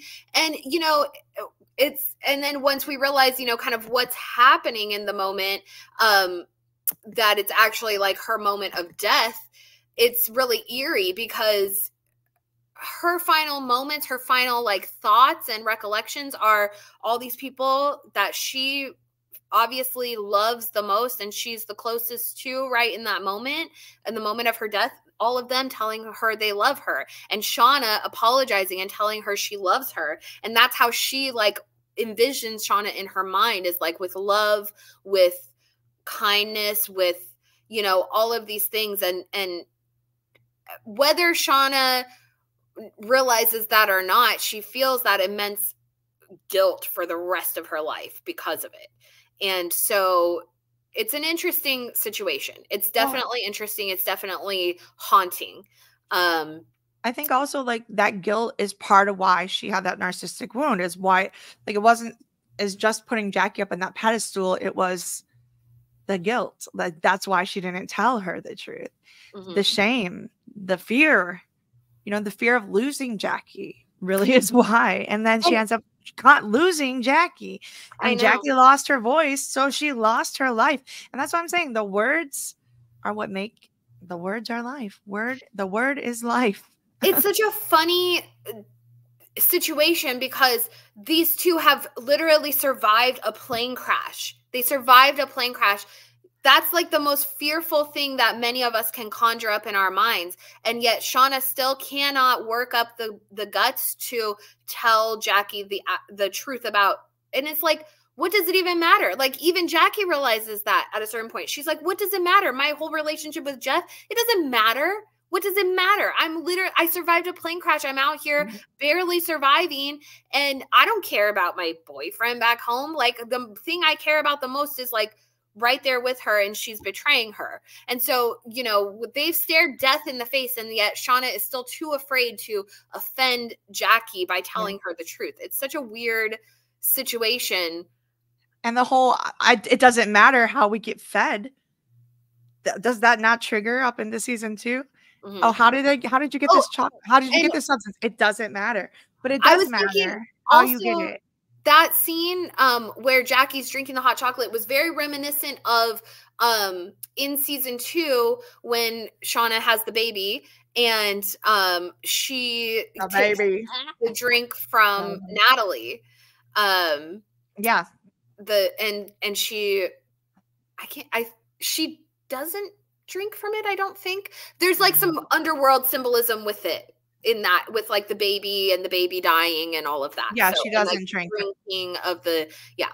So because in the un, like in the Persephone and Hades myth is if you know what if you eat the the seeds of the pomegranate which Persephone does which um, binds her to the underworld for a period of the year which is the winter period which is why things don't grow and and are it's cold and and dead. So was it, was it not that brings that I think she or was Lottie tries to feed her at first, or was it just Lottie with the baby? Lottie I feel like Lot- baby, but Nat brings her the mug okay. of like whatever. Drink. Yeah, because I feel like Lottie is representative of part. She's ruled by the underworld. I feel like she does get possessed by Hades or or the the underworld. She becomes the queen of the underworld in a sense. Oh, close up. But um, this whole like feeding her because you see her feeding the drinks feeding people into the dark and keep and trying to keep them in her realms, trying to keep the girls, let the girls kill themselves based on the drink in, in season two. Yeah. I feel like Lottie is a servant now of the underworld. by feeding well, she's people. willing to play the game, that's for sure. Like, yeah, who's who's Russian roulette then, with the you know phenobarbital yeah. poison drink, like all and, the the alcohol's there, and then she's not drinking, and that's not drinking in the future, and then then she she actually does, and then ends up dying. Which like, is so funny, also because like you know Van is the one who's said to be like the trickster. That's like kind of her association, right? Because the card she draws and um because she draws like the jack of spades or clubs, something like that. Anyways, she's the trickster I've associated her with. Like she's kind of got that Hermes energy um and just trickster vibes. And so um, but it's funny that like Lottie is the one who's so willing to like play these games and that kind of thing. She's like, I'm telling you, like, I think that she's ruled by the underworld. And then the mystic realm. Here's the thing about mystics. Here's the thing about the spirit realm. A spade's a spade in the spirit realm. It is what it is. You call it the truth is the truth. It's not another name. It's not a trick, another name. A spade is a spade. Mm-hmm. You know, and the worldly realm will tell you it's different. Yeah. So that I think that there's something to be said about that. But like Hermes, the whole analogy with that, I can see too. But at the end of the day, Hermes in the spirit realm has like one purpose, you know, it's not he's not really a trickster, he's a messenger. He has many purposes. Like he tricks people in I, I'm a Hermes lover, you know, but he tricks people in the worldly realm more than the spiritual realm, not in the underworld. He'll trick people in the, in the other realms, but it's well, in the world yeah. tricks. It's but in the world. He's delivering souls to the underworld. He's a psychopomp. Yeah. So yeah. But Which yeah. we talked a lot about that too in season two was all the psychopomp. I think Which all the I girls have options to be.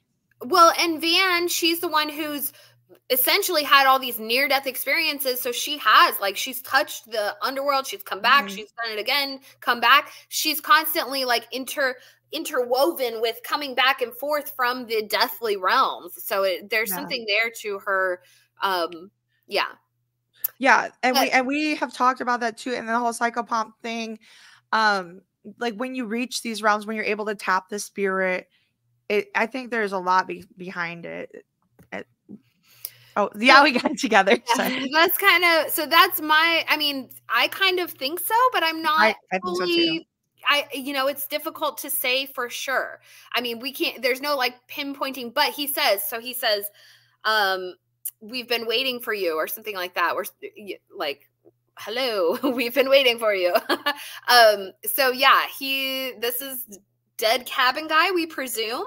Um, and he's been waiting for Lottie and we have, or for Jackie. And we have that moment also right before we see him. Um, Jackie sees Laura Lee, and that's how she sort of she's like, what? You know, she kind of has that moment of like, what are, what am I seeing so, right now? And it's Laura Lee who's there, like, it's not as bad as you thought it was going to be and you know sort of like guiding her into the death realms and then yeah dead cab dead cabin guy's there he's welcoming her. They've been waiting for her. And so we have to kind of wonder is he Hades? Is he, you know, the one who's taking her into the underworld? And Jackie has all this Persephone symbolism with her, you know, her green and pink and, and, being this beautiful maiden and all of that and you know giving her virgin blood to the symbol where the dead cabin guy was or maybe he's just uh calling her to the closet Maybe he's like, let me get some of that. That that. I don't know. Anyways. yeah, yeah. It goes without saying, y'all. If you got the spirit of you know what we're talking about, you know.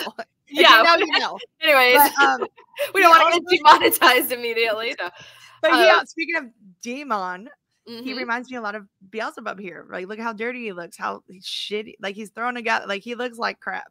Yeah, which is that's not how mm, I envision Hades at all. Me like, neither. No, me neither. Mm, he's a well put together man, you know, and very handsome and clean yeah. cut, and you know he's managing things in his realm. So, and also, like I do want to point out, I pointed out last time too, Hades. Like, if you want to take off on the um you know angel devil type thing or demons and and whatever hades is mentioned in the bible several times and it's mentioned as a place where the spirits go while they're mm-hmm. waiting judgment mm-hmm. you know it's a real thing that is actually given credit and in in many different forms not just you know i'm talking about in the christians uh you know, religious realms mm-hmm. of, of that aspect, not just even Greek mythology. So yeah. it's um beautiful friends come into the closet with me. Uh Hades has an off day. Beelzebub's his his uh second one, and this is Hades' off day. Demons trying to overthrow Hades. Now that does happen. So it could, could happen. He's like, This is my no wash day, you know? yeah. it is Hades interesting. Is so, um, well, Wild Marjoram. Oh, sorry. Oh, sorry. Um, Wild Marjoram says, um, "Is Cabin Daddy slash the hunter related to not the hunter or huntress. Um, he is credited as the hunter in the credits, and that's where it gets a little muddled. Where we're like, hmm, what are you, you know, meant to represent? Uh, is predators? Is he the same as Dead Cabin Guy? Like, is this the same person or spirit? Um, because Dead Cabin Guy, like his clothes were all so dirty that you know it's kind of difficult to, and he had like a beard and long hair going on and so it's kind of hard to know if that is him um or if this is a completely different spirit um and well let's say that could be all of them related to the if if he's related because i think that's what gives natalie her edge you know that's what gives her the um the privilege or, or you know whatever of being the the the favorite of the wilderness because she is you know she's exchanging with the wilderness. It's taking a life to give life you know? There's some there's a a, a cyclical nature to their relationship. And so physical though let's say because the spiritual nature like you said earlier was lottie and yeah there, exactly. that, there's she's missing that and she finds on season two but like there's this whole dynamic again is it spiritual or is it physical mm-hmm.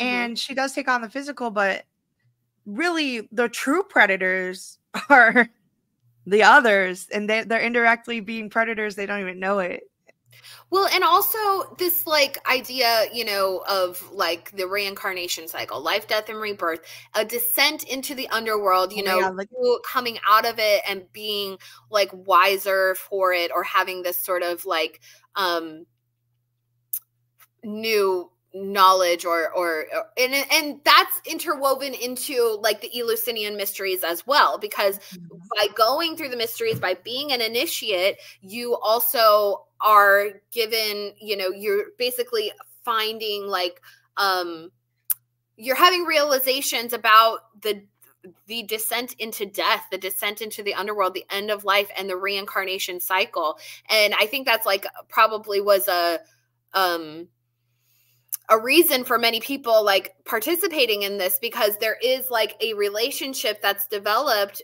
through that with death and with mm-hmm. your after with the afterlife. And it, so if you've been initiated you instantly sort of gain um favor favoritism in the afterlife or you've gained like accolades. So you're not necessarily starting out at at like level one and ha- like because there are sort of levels to the underworld. There are certain areas where um you know the the heroes live. There are areas where the more beloved people that are you know that are good people and probably the people that have you know been initiates of of the mysteries that they're sort of in this higher realm versus like other people being in like you know sisyphus like you know having to push a rock up the hill forever uh, or just living in like a or, or the like, hunter being caught in his territory or even if you're you know the the idea of paying the ferryman you know if you show up at the underworld and you don't have your coin for the ferryman to pay your way across you're stuck there at the shore for something like a year or seven years or nine years. I don't know you're just stuck there and you have to mm, wait. I'm feeling that. um, yeah which is sort of like being in limbo in a sense and your soul being in limbo. So uh, and that's why the burial process and everything is so important for mm-hmm. um people in the afterlife. So, anyways, also, uh, though, uh, I love this. I, hold on, just oh, let me finish this really quick. Um, but, but my my idea with this would be like with Jackie being so naive in a sense, or being so like innocent and pure and naive. She, by being the first to descend into the underworld, she's also being the first to sort of evolve and like become a higher being, maybe in her next incarnation, right? So uh, which is Callie. And same, yeah, exactly. And Going back to Haunt Shauna. and kind of the same with Laura Lee. Also, oh my gosh, wait, what? A, oh, the spirit ahead. of Jackie found the body. Say. Jumping in, spirit of Jackie found the body. Like was was it re reincarnated through Callie? That was like the first body. You know, you it really lives through Shauna. Yeah, like it really lives through Shauna in the future too. But I love that, like the, that whole idea. I love this comment too. The hunter and the body. I mean, th- the mind, body, soul. Mm-hmm. Your conscious, subconscious, inner conscious. They're all different. The Holy Spirit, mm-hmm. Jesus, God. They're all different entities of one. Mm-hmm. They're different. They're not just the same. They have unique rooms, even though the, all their doors flow open mm-hmm. once you have one to another to another. When you enter the house, you can enter you enter room by room by room. Mm-hmm. But or when you enter hell, you go by you go by you know room by or what is it the tiers by tier like by tier. Yeah, the levels. Yes, there are levels to everything, mm-hmm. and this this is they're caught in this level, and I think this is a great comment. This this made my gears spin a little bit, um, and the whole it factor. So narcissists will literally take your name away. They don't even use your name half the times, or they'll, they'll call you other stuff. Like Jackie becomes Jax, you know, or like they give you nicknames, pet names to give you to make you more items. Like you become a a physical object. You know, you might as well be a doll on the shelf, whatever. But also demons cannot say your name, and they also have. Uh, we've been waiting for you, demons speak in plurals because there's always one or more. In fact, they usually come in sets of three or seven, our leagues, legions, mm-hmm. legions beyond. Because with every one, there's always three. So this whole concept of the threes that we get throughout this, whether it be holy or, or non-holy or whatever you want to call it, it happens, and things do come in 3s mm-hmm. And so, yeah, I just wanted to point that out. That's it. Mm-hmm. But the hunter, you know, again, it's giving a a label to things that are not necessarily just that. It's what you can see all you want. You can see a million things, but there's always more that you don't see. And that's the spirit realm. And it takes not sun and moon, not Lottie, and it takes not the spirit only like Lottie, who's blinded by just the spirit, you know, blinded that this is the wilderness that controls it all. Not kind of caught in physical realms, but starting to realize in the future that she's it's it's about the spirit and it's about healing and all this stuff. Mm-hmm. But also like there are people who go to healing things and they get caught in that. You can become a spiritual narcissist through these healing things and think you know it all and you you reject the other things think you think you know. Mm-hmm. It's it's everything. Everything is everything by Lauryn Hill. what so, is meant to be will be. Yeah. Um, so as far as like who the hunter or who dead cabin guy is, is he Hades? I mean, it's a good question. There are other like factors to take into consideration too, like Hades, excuse me, being like, is he inter like we've talked about this quite often. Um, is he connected? Is dead cabin guy connected to um, the man with no eyes? Or are these two completely separate like entities or energies? Are they all uh, demons combined?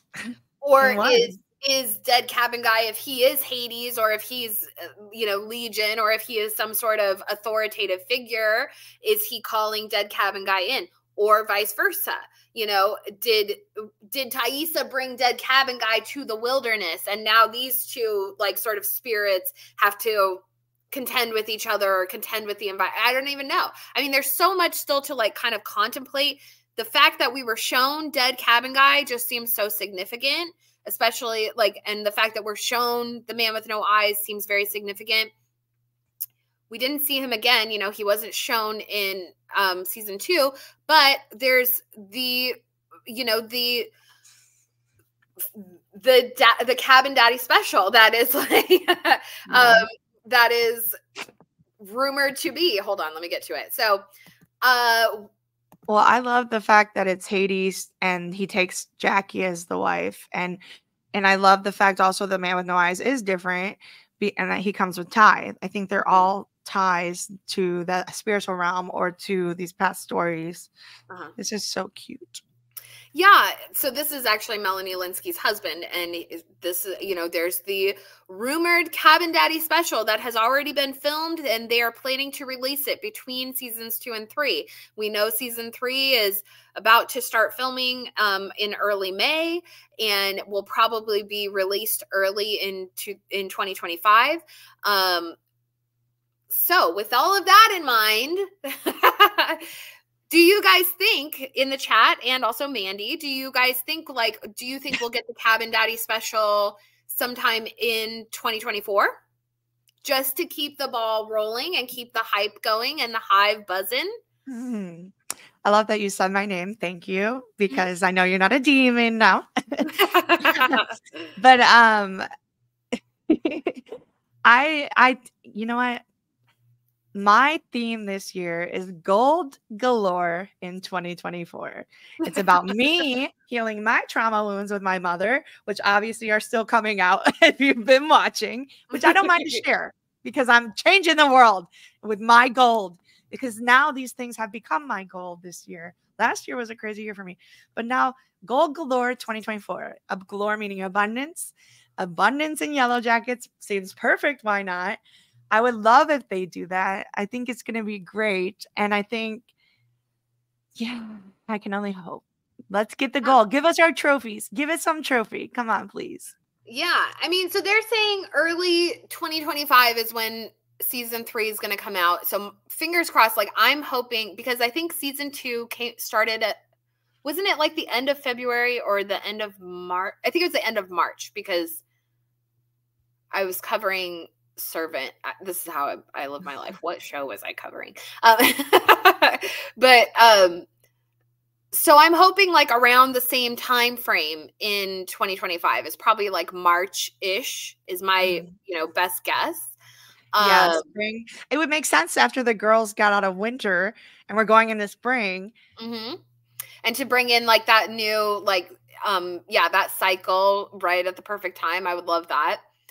Um, I love this comment because um I think he would after his wife and his baby died. Well, how's I he going to get and, them afterwards, though? Well, you know, uh, I think a dad. Well, it will all be. How did they get out of the wilderness? We don't know. Yeah, the answer. That's the point. The answers are never actually truly there, and if they are there, they might just be your answer, but they might not be the answer to someone else. The way you heal is not the same way another person can heal. You know, well, like, and also like who's to say there's exactly. been only one cabin guy? You know, maybe there's been multiple. Mm-hmm. Maybe this is some sort of like hermitage. Like, you know, I don't even Mercury. know. Is it Mercury? yeah, exactly. Like he could be a psychopomp. That's where he's getting these magazines. mm-hmm. So I don't know. It's interesting to contemplate. Um, and also, you know, Jason Ritter, he has a mustache in those photos, whereas mm-hmm. Dead Cabin Guy doesn't have a mustache. We're also wearing a different flannel, which was the, the cabin guy the have a beard? Wasn't in. Yeah, dead cabin guy. Yeah, so that was the beginning of cabin. was, you know, does your hair doesn't your hair keep growing in your fingernails after you die? I think so. Yeah. Yeah. So maybe who knows how long he was dead? you know, he could have died that way. Very yeah, maybe this. And, and then his... we see that shaving and Taissa cutting her hair and Coach Ben cutting their hair. It's mm-hmm. a huge thing in this show. So, yeah. Well, it's a, yeah, it's a, It would be nice if they gave it to us as like a Christmas special. It starts the winter or like the end of winter, like in November. Yeah, that's what I'm but hoping. You know what's coming. Mm-hmm. I think they did that before with like the trailer, that whole video with the candle and all of that. If yeah, if any of you guys were partook in that. Yeah, yeah, and antler queen. antler queen. Aye, aye. Yep. You know what is coming though? I've decided my voice is coming back, and Aaron has been suggesting it. I'm not sure. I have a bunch of parodies in play, but I wanted to do it last year. The Yellowjackets parody Christmas special is coming. I've done it for a Game of Thrones. We called it the Litbringers Litmus Special, Litmus. So uh we're gonna I'm gonna do it. I'm gonna do it. I hope you do. You hear what I hear is gonna be Lottie's song. said the wilderness to the horn deer. Do you hear what we hear? a wind, a wind blowing from the trees. Where's the scissors? Too bad Taissa doesn't see. Yeah. Marie, do you hear those drip strings or something? I don't know. I'm Just I'm just talking crap right now. But honey, please, So- mama's almost done. Go ask Where's daddy. the scissors? Um, I don't know. Go ask daddy. Thank you. So I just figure I'll pull these photos. so to wrap it all up, yes, they wake up in the morning. It has snowed, and Shauna, of course, is immediately like, "Oh crap!" and she runs outside, and yep, in the True Detective fashion, we have a corpsicle. um. So poor Jackie, you know, falling what it, falling asleep feels like dying. Isn't that what Taissa said? Yeah. Yep. And also And- like the narcissist statue, the like looking back, Jackie couldn't get she kept looking back to the past last episode. She's like, remember what we could have done or should have done or would have done? Well, She and it's doesn't like wanna- the, what what do you say? Like there's like the fight or f- flight or freeze, or fawn. Fawn. and that's how that was Jackie's reaction. She froze and she never unfroze. Well, no, she didn't. Well, she, until she's on the pyre. Okay. Or but also season one, because we talked about this when Shauna takes the meat out, Jackie's frozen. That's symbolic of Jackie. Mhm. and that unfreeze the thought. But then she goes and kills a rabbit, which is also a symbolism of Jackie because she wants raw meat.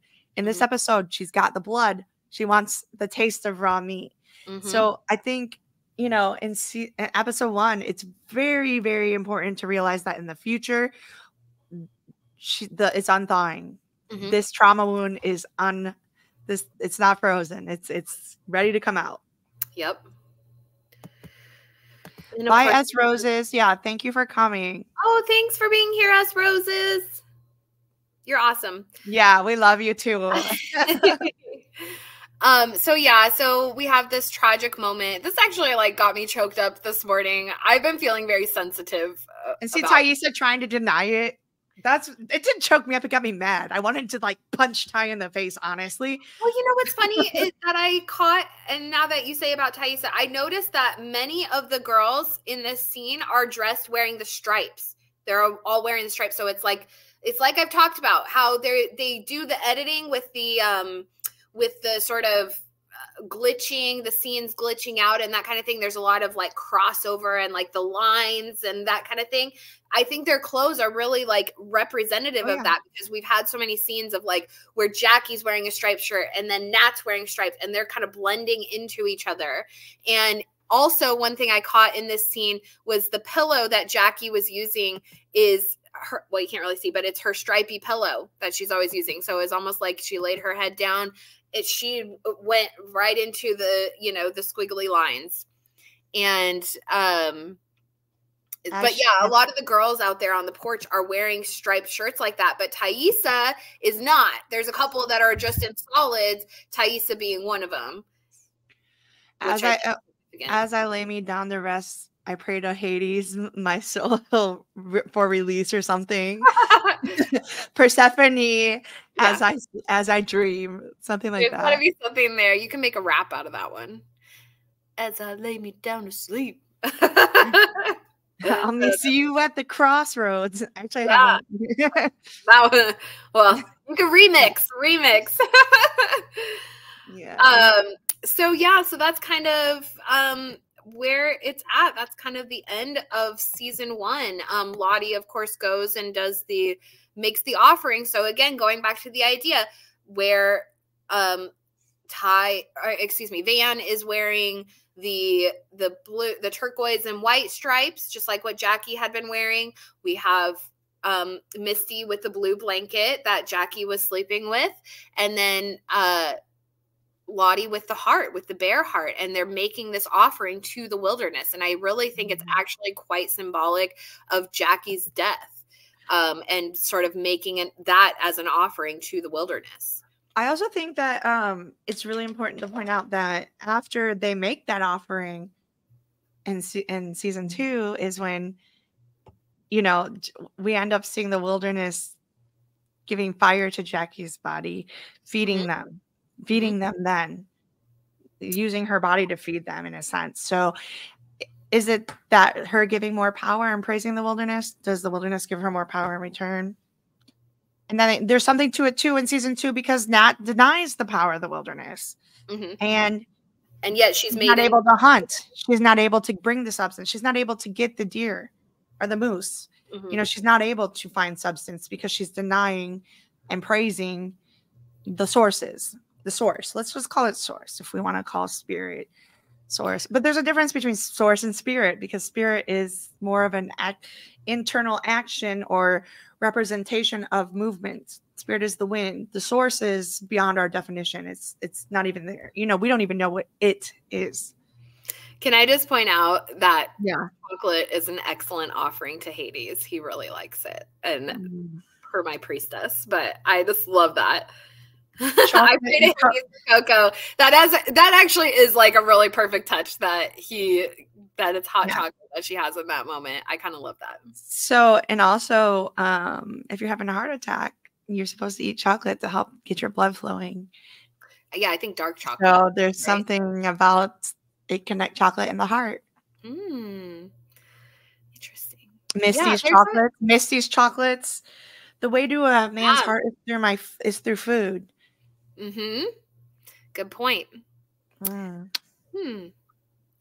Well, that kind of wraps it up So for season one. I'm like kind of sad that we're at the end of it. I'm hoping that we do get a Cabin Daddy special sooner than later because then we'll have some. We're definitely going to be here to chat about it, you know, whenever that does come out. And of course, like any other exciting stuff that comes out about the Yellowjackets between now and season three. And we're going to find some other things too.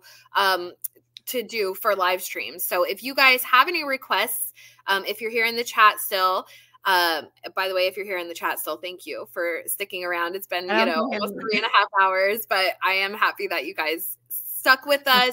I was kind of planning on doing a longer one today, anyways, just because it's our last our season one finale. So, um, but yeah, If let us know in the chat if there's any streams or ideas that you guys want to see. Um, I, yes, the book club idea. Okay, that's one. we could do a live.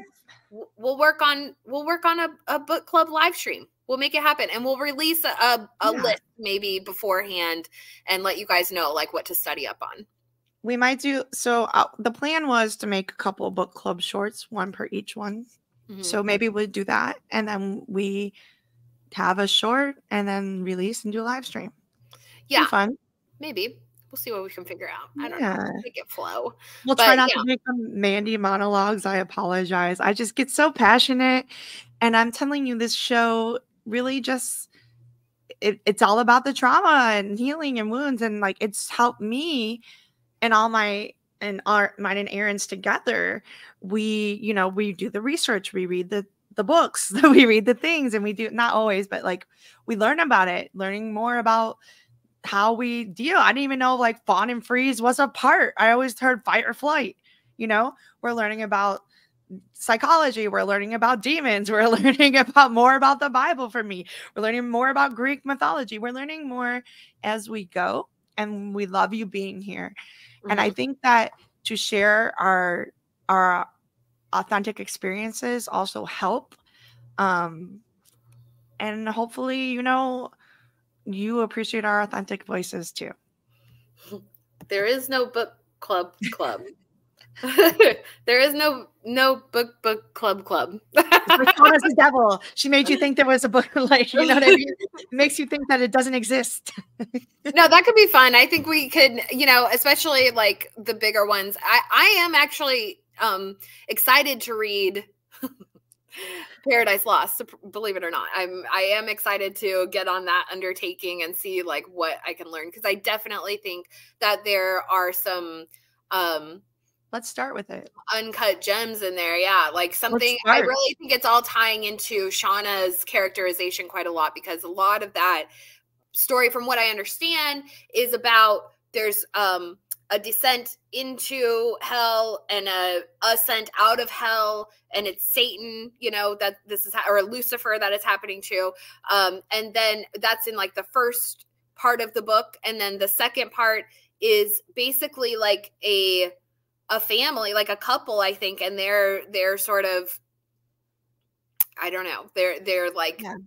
their conventional traditional life versus like this I, I don't even know. I don't listen to me. But no, it makes sense. You're, it makes perfect sense because Lucifer, you know, you want to do it biblical terms, and it's called Hades a lot of times to is referred to, but also like Lucifer was cast out with a legion of demons, a bunch of the demons mm-hmm. or earthly angels who have like turned their hearts against it, it, it, all makes perfect sense. Mm-hmm. I don't want to give too much away, but I think we should start with Paradise Lost because yeah. it's where episode one starts. So why not? Yeah, exactly. So if you yeah. guys here, if you're still watching in the chat, that's our first that's our first official book on book club list is Paradise Lost.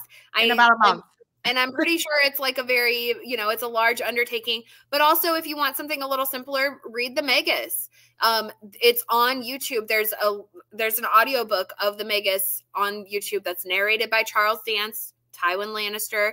So I definitely recommend it. Only it's like a few hours of a listen, um, and it'll give you some interesting ideas and and takeaways from it, especially when it comes to Coach and to Misty in particular. And maybe even to Walter, because that's where we had a lot of ideas of connecting. It was with Walter as well. Oh, I'm so, so, excited about I, I can't oh, so much yeah. passion with this show. So much passion and learning. So much passion to read these things, right? Mm-hmm, Let's do mm-hmm. it. All right, you guys. Well, we're gonna get going. My son's gonna be home from school in just a couple minutes, so I got to get off here so I can go out to the bus and get him. But um, right. thank you all so much for joining us for season one of Yellowjackets. And of course, if you want to watch our season two coverage, it's here on my channel. Um, and of course, a bunch of other things. And I did also, last week I made a, a, video about Alys Rivers, which is really long. It's 48 minutes long, mm-hmm. but it's very enjoyable. So if you are looking for something to do, then put it on and watch. I'm not getting, you know, it's not getting a ton of views, but I was kind of anticipating that one's going to be a, a, grower, not a it's because it's too long for most people. I know that's the thing is most people don't give it a lot of attention or, and I get it, you know, time is value, but it's like, there's valuable gems there. So yeah, I like a nice long video that really like brings you into the story. And that's what I try to do with this one. It's more of like an artistic endeavor, like where you we're are. there's poetry, there are themes, there are colors, there are I mean it's a it's it's a movie on, in and of itself. So it's I like one of our live Oh, sorry. What's that? It's like one of our live streams.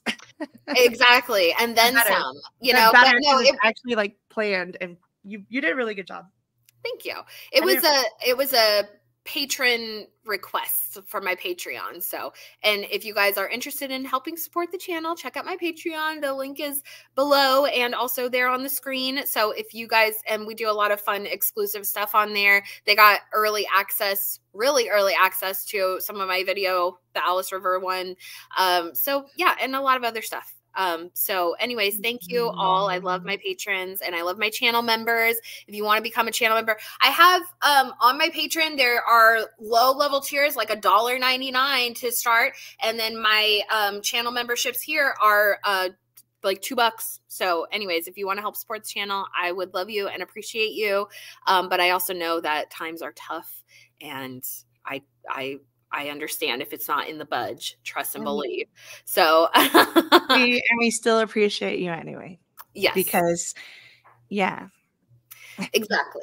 And one final thing that I do want to say, and you know, whether you all agree with me or not, is not really not my top priority but i do want to just point out and i it has to be pointed out especially because yesterday was the super bowl and some really atrocious things happened in gaza um, that were inhumane. So the th- the the atrocities that are happening in Gaza, um, we are pro. I am pro Palestinian here on my channel, and if you don't agree with that, that's fine. Maybe we have a difference in opinions. I'd gladly debate it with you, or um, if you're if it's not your bag, then feel free to unsubscribe.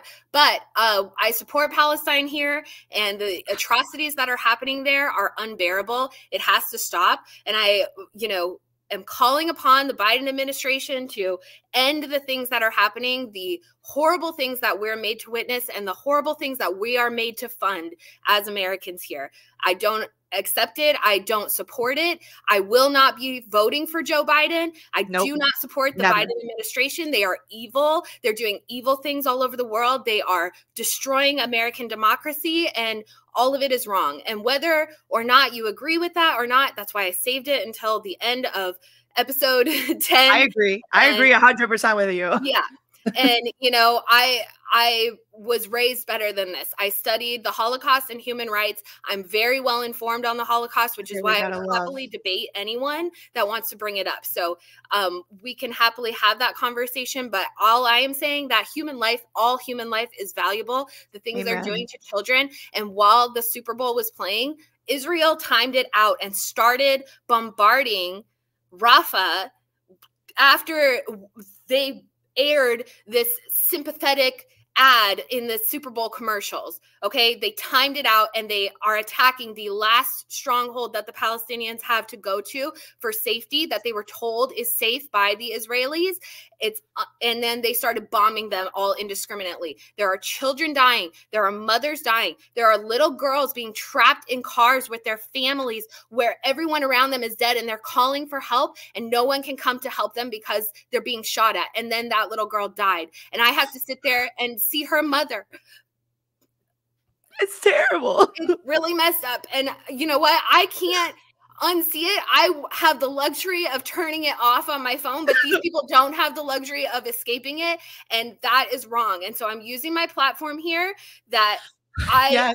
am doing the best that I can to share this information and share love and let the people of Palestine know that we care. And we, we do, we care.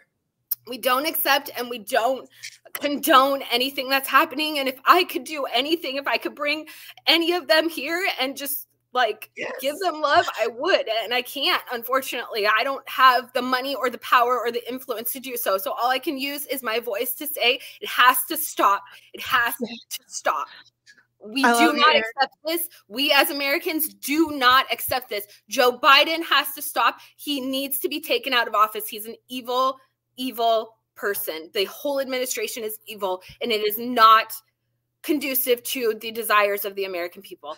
All right. That's all I have to say. No. I'm get too emotional. And I'm just it's like. Mandy. I've been crying. I literally have been crying all night long about. I saw that video of Hind's mother. I can't take that shit. I can't fucking take that shit. I don't like it. It breaks my heart. Every bit of this is wrong. Every bit of it is wrong. Every it is 100%. These things need to stop. Human life matters. Humans matter. Every life matters.